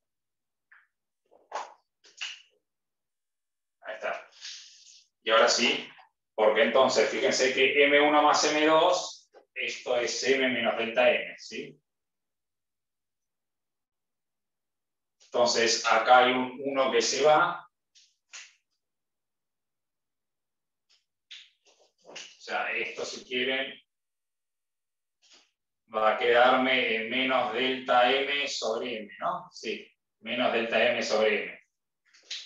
Entonces, me queda que T1 menos T2 y acá le cambio el signo a esto, o sea, me va a quedar que esto es M2 menos M1 por delta M sobre M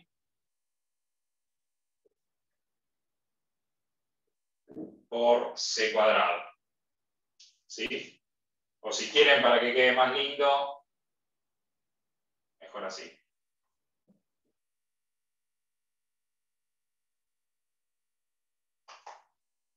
Es M2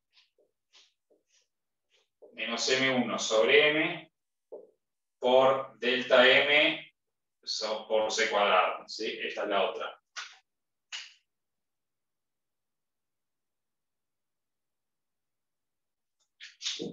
Bueno, y ahora sí, lo único que hay que hacer es, digamos, sumar y obtener eh, eh, la T1, restan, obtienen la T2, y así que esto es muy sencillo, así que de acá se demuestra lo que pide el ejercicio, que es la fórmula eh, ahí va, ahí les digo la fórmula. Entonces, el TI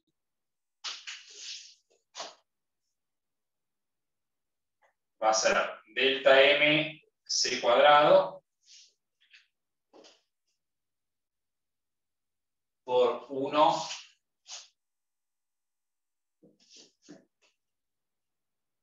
menos 2mi más delta m menos 2mi más delta m sobre m. Sobre. Y esto es lo que pide el ejercicio.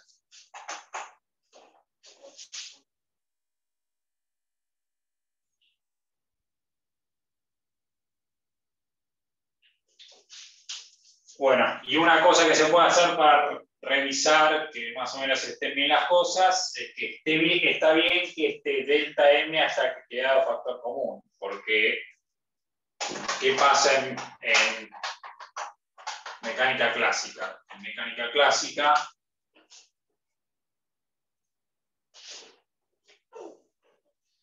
entonces, en mecánica clásica, el TI, ¿sí? Es, va como un medio MI, BI cuadrado, ¿sí? Entonces, el TI sobre C cuadrado, esto tiende a cero, ¿sí? Así que si divido el C cuadrado acá, en mecánica clásica esto me tiene que dar cero y está bien, porque en mecánica clásica el delta M vale cero, ¿sí? Así que efectivamente, si delta M vale cero, por, por así decirlo, digamos, se obtiene el caso clásico. Eh, bueno, y esta es la parte de cuentas, por así decirlo, del ejercicio. Y hay que responder algo más, pero es más conceptual que otra cosa, así que lo voy a hacer. Voy a borrar acá arriba.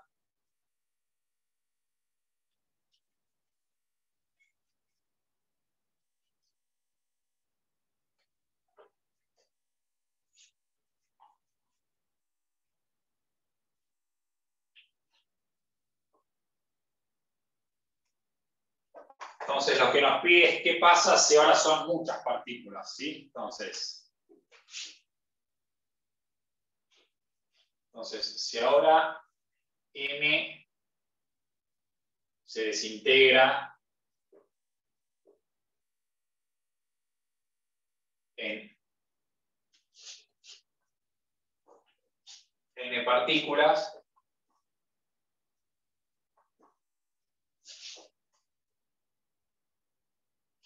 ¿Sí? Entonces, digamos, en partículas, entonces, notar que, digamos, siguen habiendo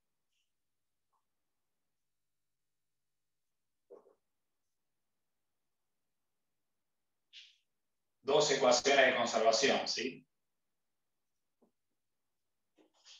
Bueno, en realidad no son dos, son cuatro, porque están las de entonces, siguen habiendo cuatro ecuaciones de conservación, ¿sí?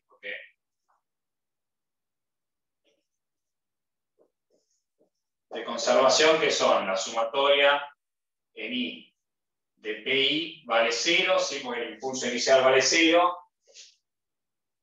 y la sumatoria mi de EI es mc cuadrado, ¿sí? O sea, y son cuatro porque estas son tres, ¿sí? Estas son vectoriales, estas, estas son tres y esta es una, ¿sí? Entonces, las ecuaciones de conservación siguen siendo cuatro, bueno, pero estás agregando un, montón, digamos, pero por, digamos, pero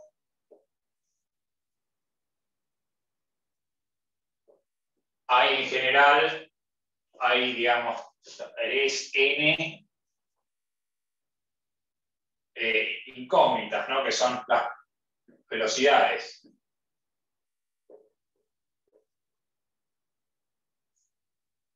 que son las velocidades finales, VI. Entonces, a medida que uno agrega cada vez más partículas, el sistema va siendo más indeterminado. ¿sí? Así que esto es recontra indeterminado. O sea, de hecho, ya el sistema original, el de 2, el sistema era indeterminado, porque lo que se puede hallar es el módulo de las velocidades, pero siempre vas a tener una dirección arbitraria, así que es la dirección con la que sale disparada alguna de las dos partículas. Si ahora yo agrego más partículas, va a ser todavía más indeterminado. Y en particular, en este caso, las energías cinéticas individuales de cada una de ellas no va a estar determinada tampoco. O sea, acá sí estaba determinado al menos las energías cinéticas individuales, pero acá ya no. Entonces, lo que pide el ejercicio es demostrar que la energía cinética máxima que puede, con la que puede salir una partícula es esta, ¿sí? Bueno, pero para responder eso, no, o sea, no necesito hacer cuenta porque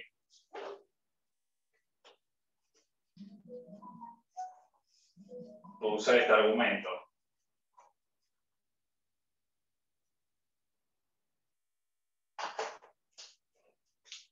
O sea, lo que voy a usar es este argumento, digamos.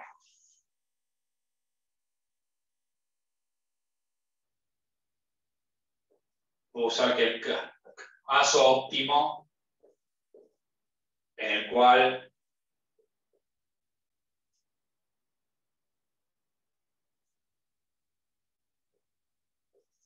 una partícula sale con energía máxima.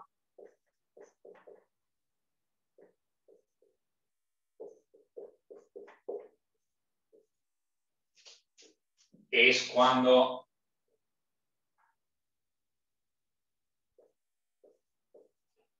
es cuando todas se quedan quietas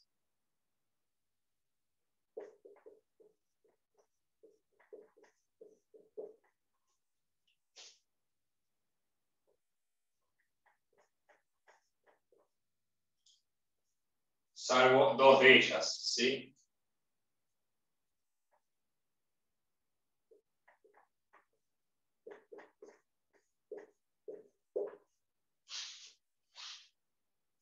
Entonces, digamos, salvo dos de ellas, entonces supongamos que son la 1 y la 2.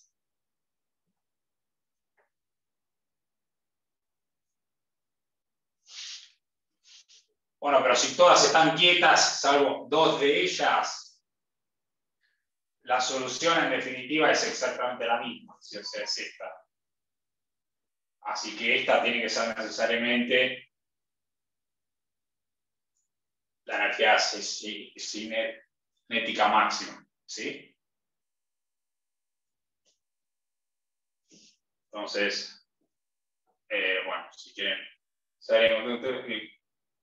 cuando quedan quietas salvo dos de ellas, la 1 y la 2, entonces en ese caso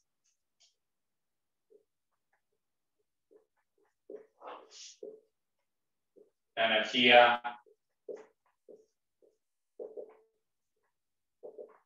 cinética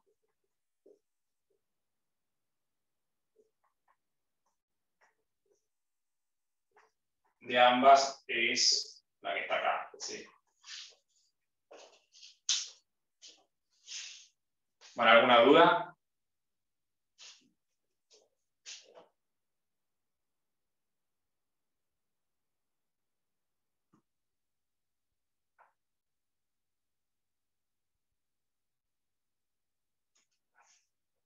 Si no tienen duda, pasamos a las consultas.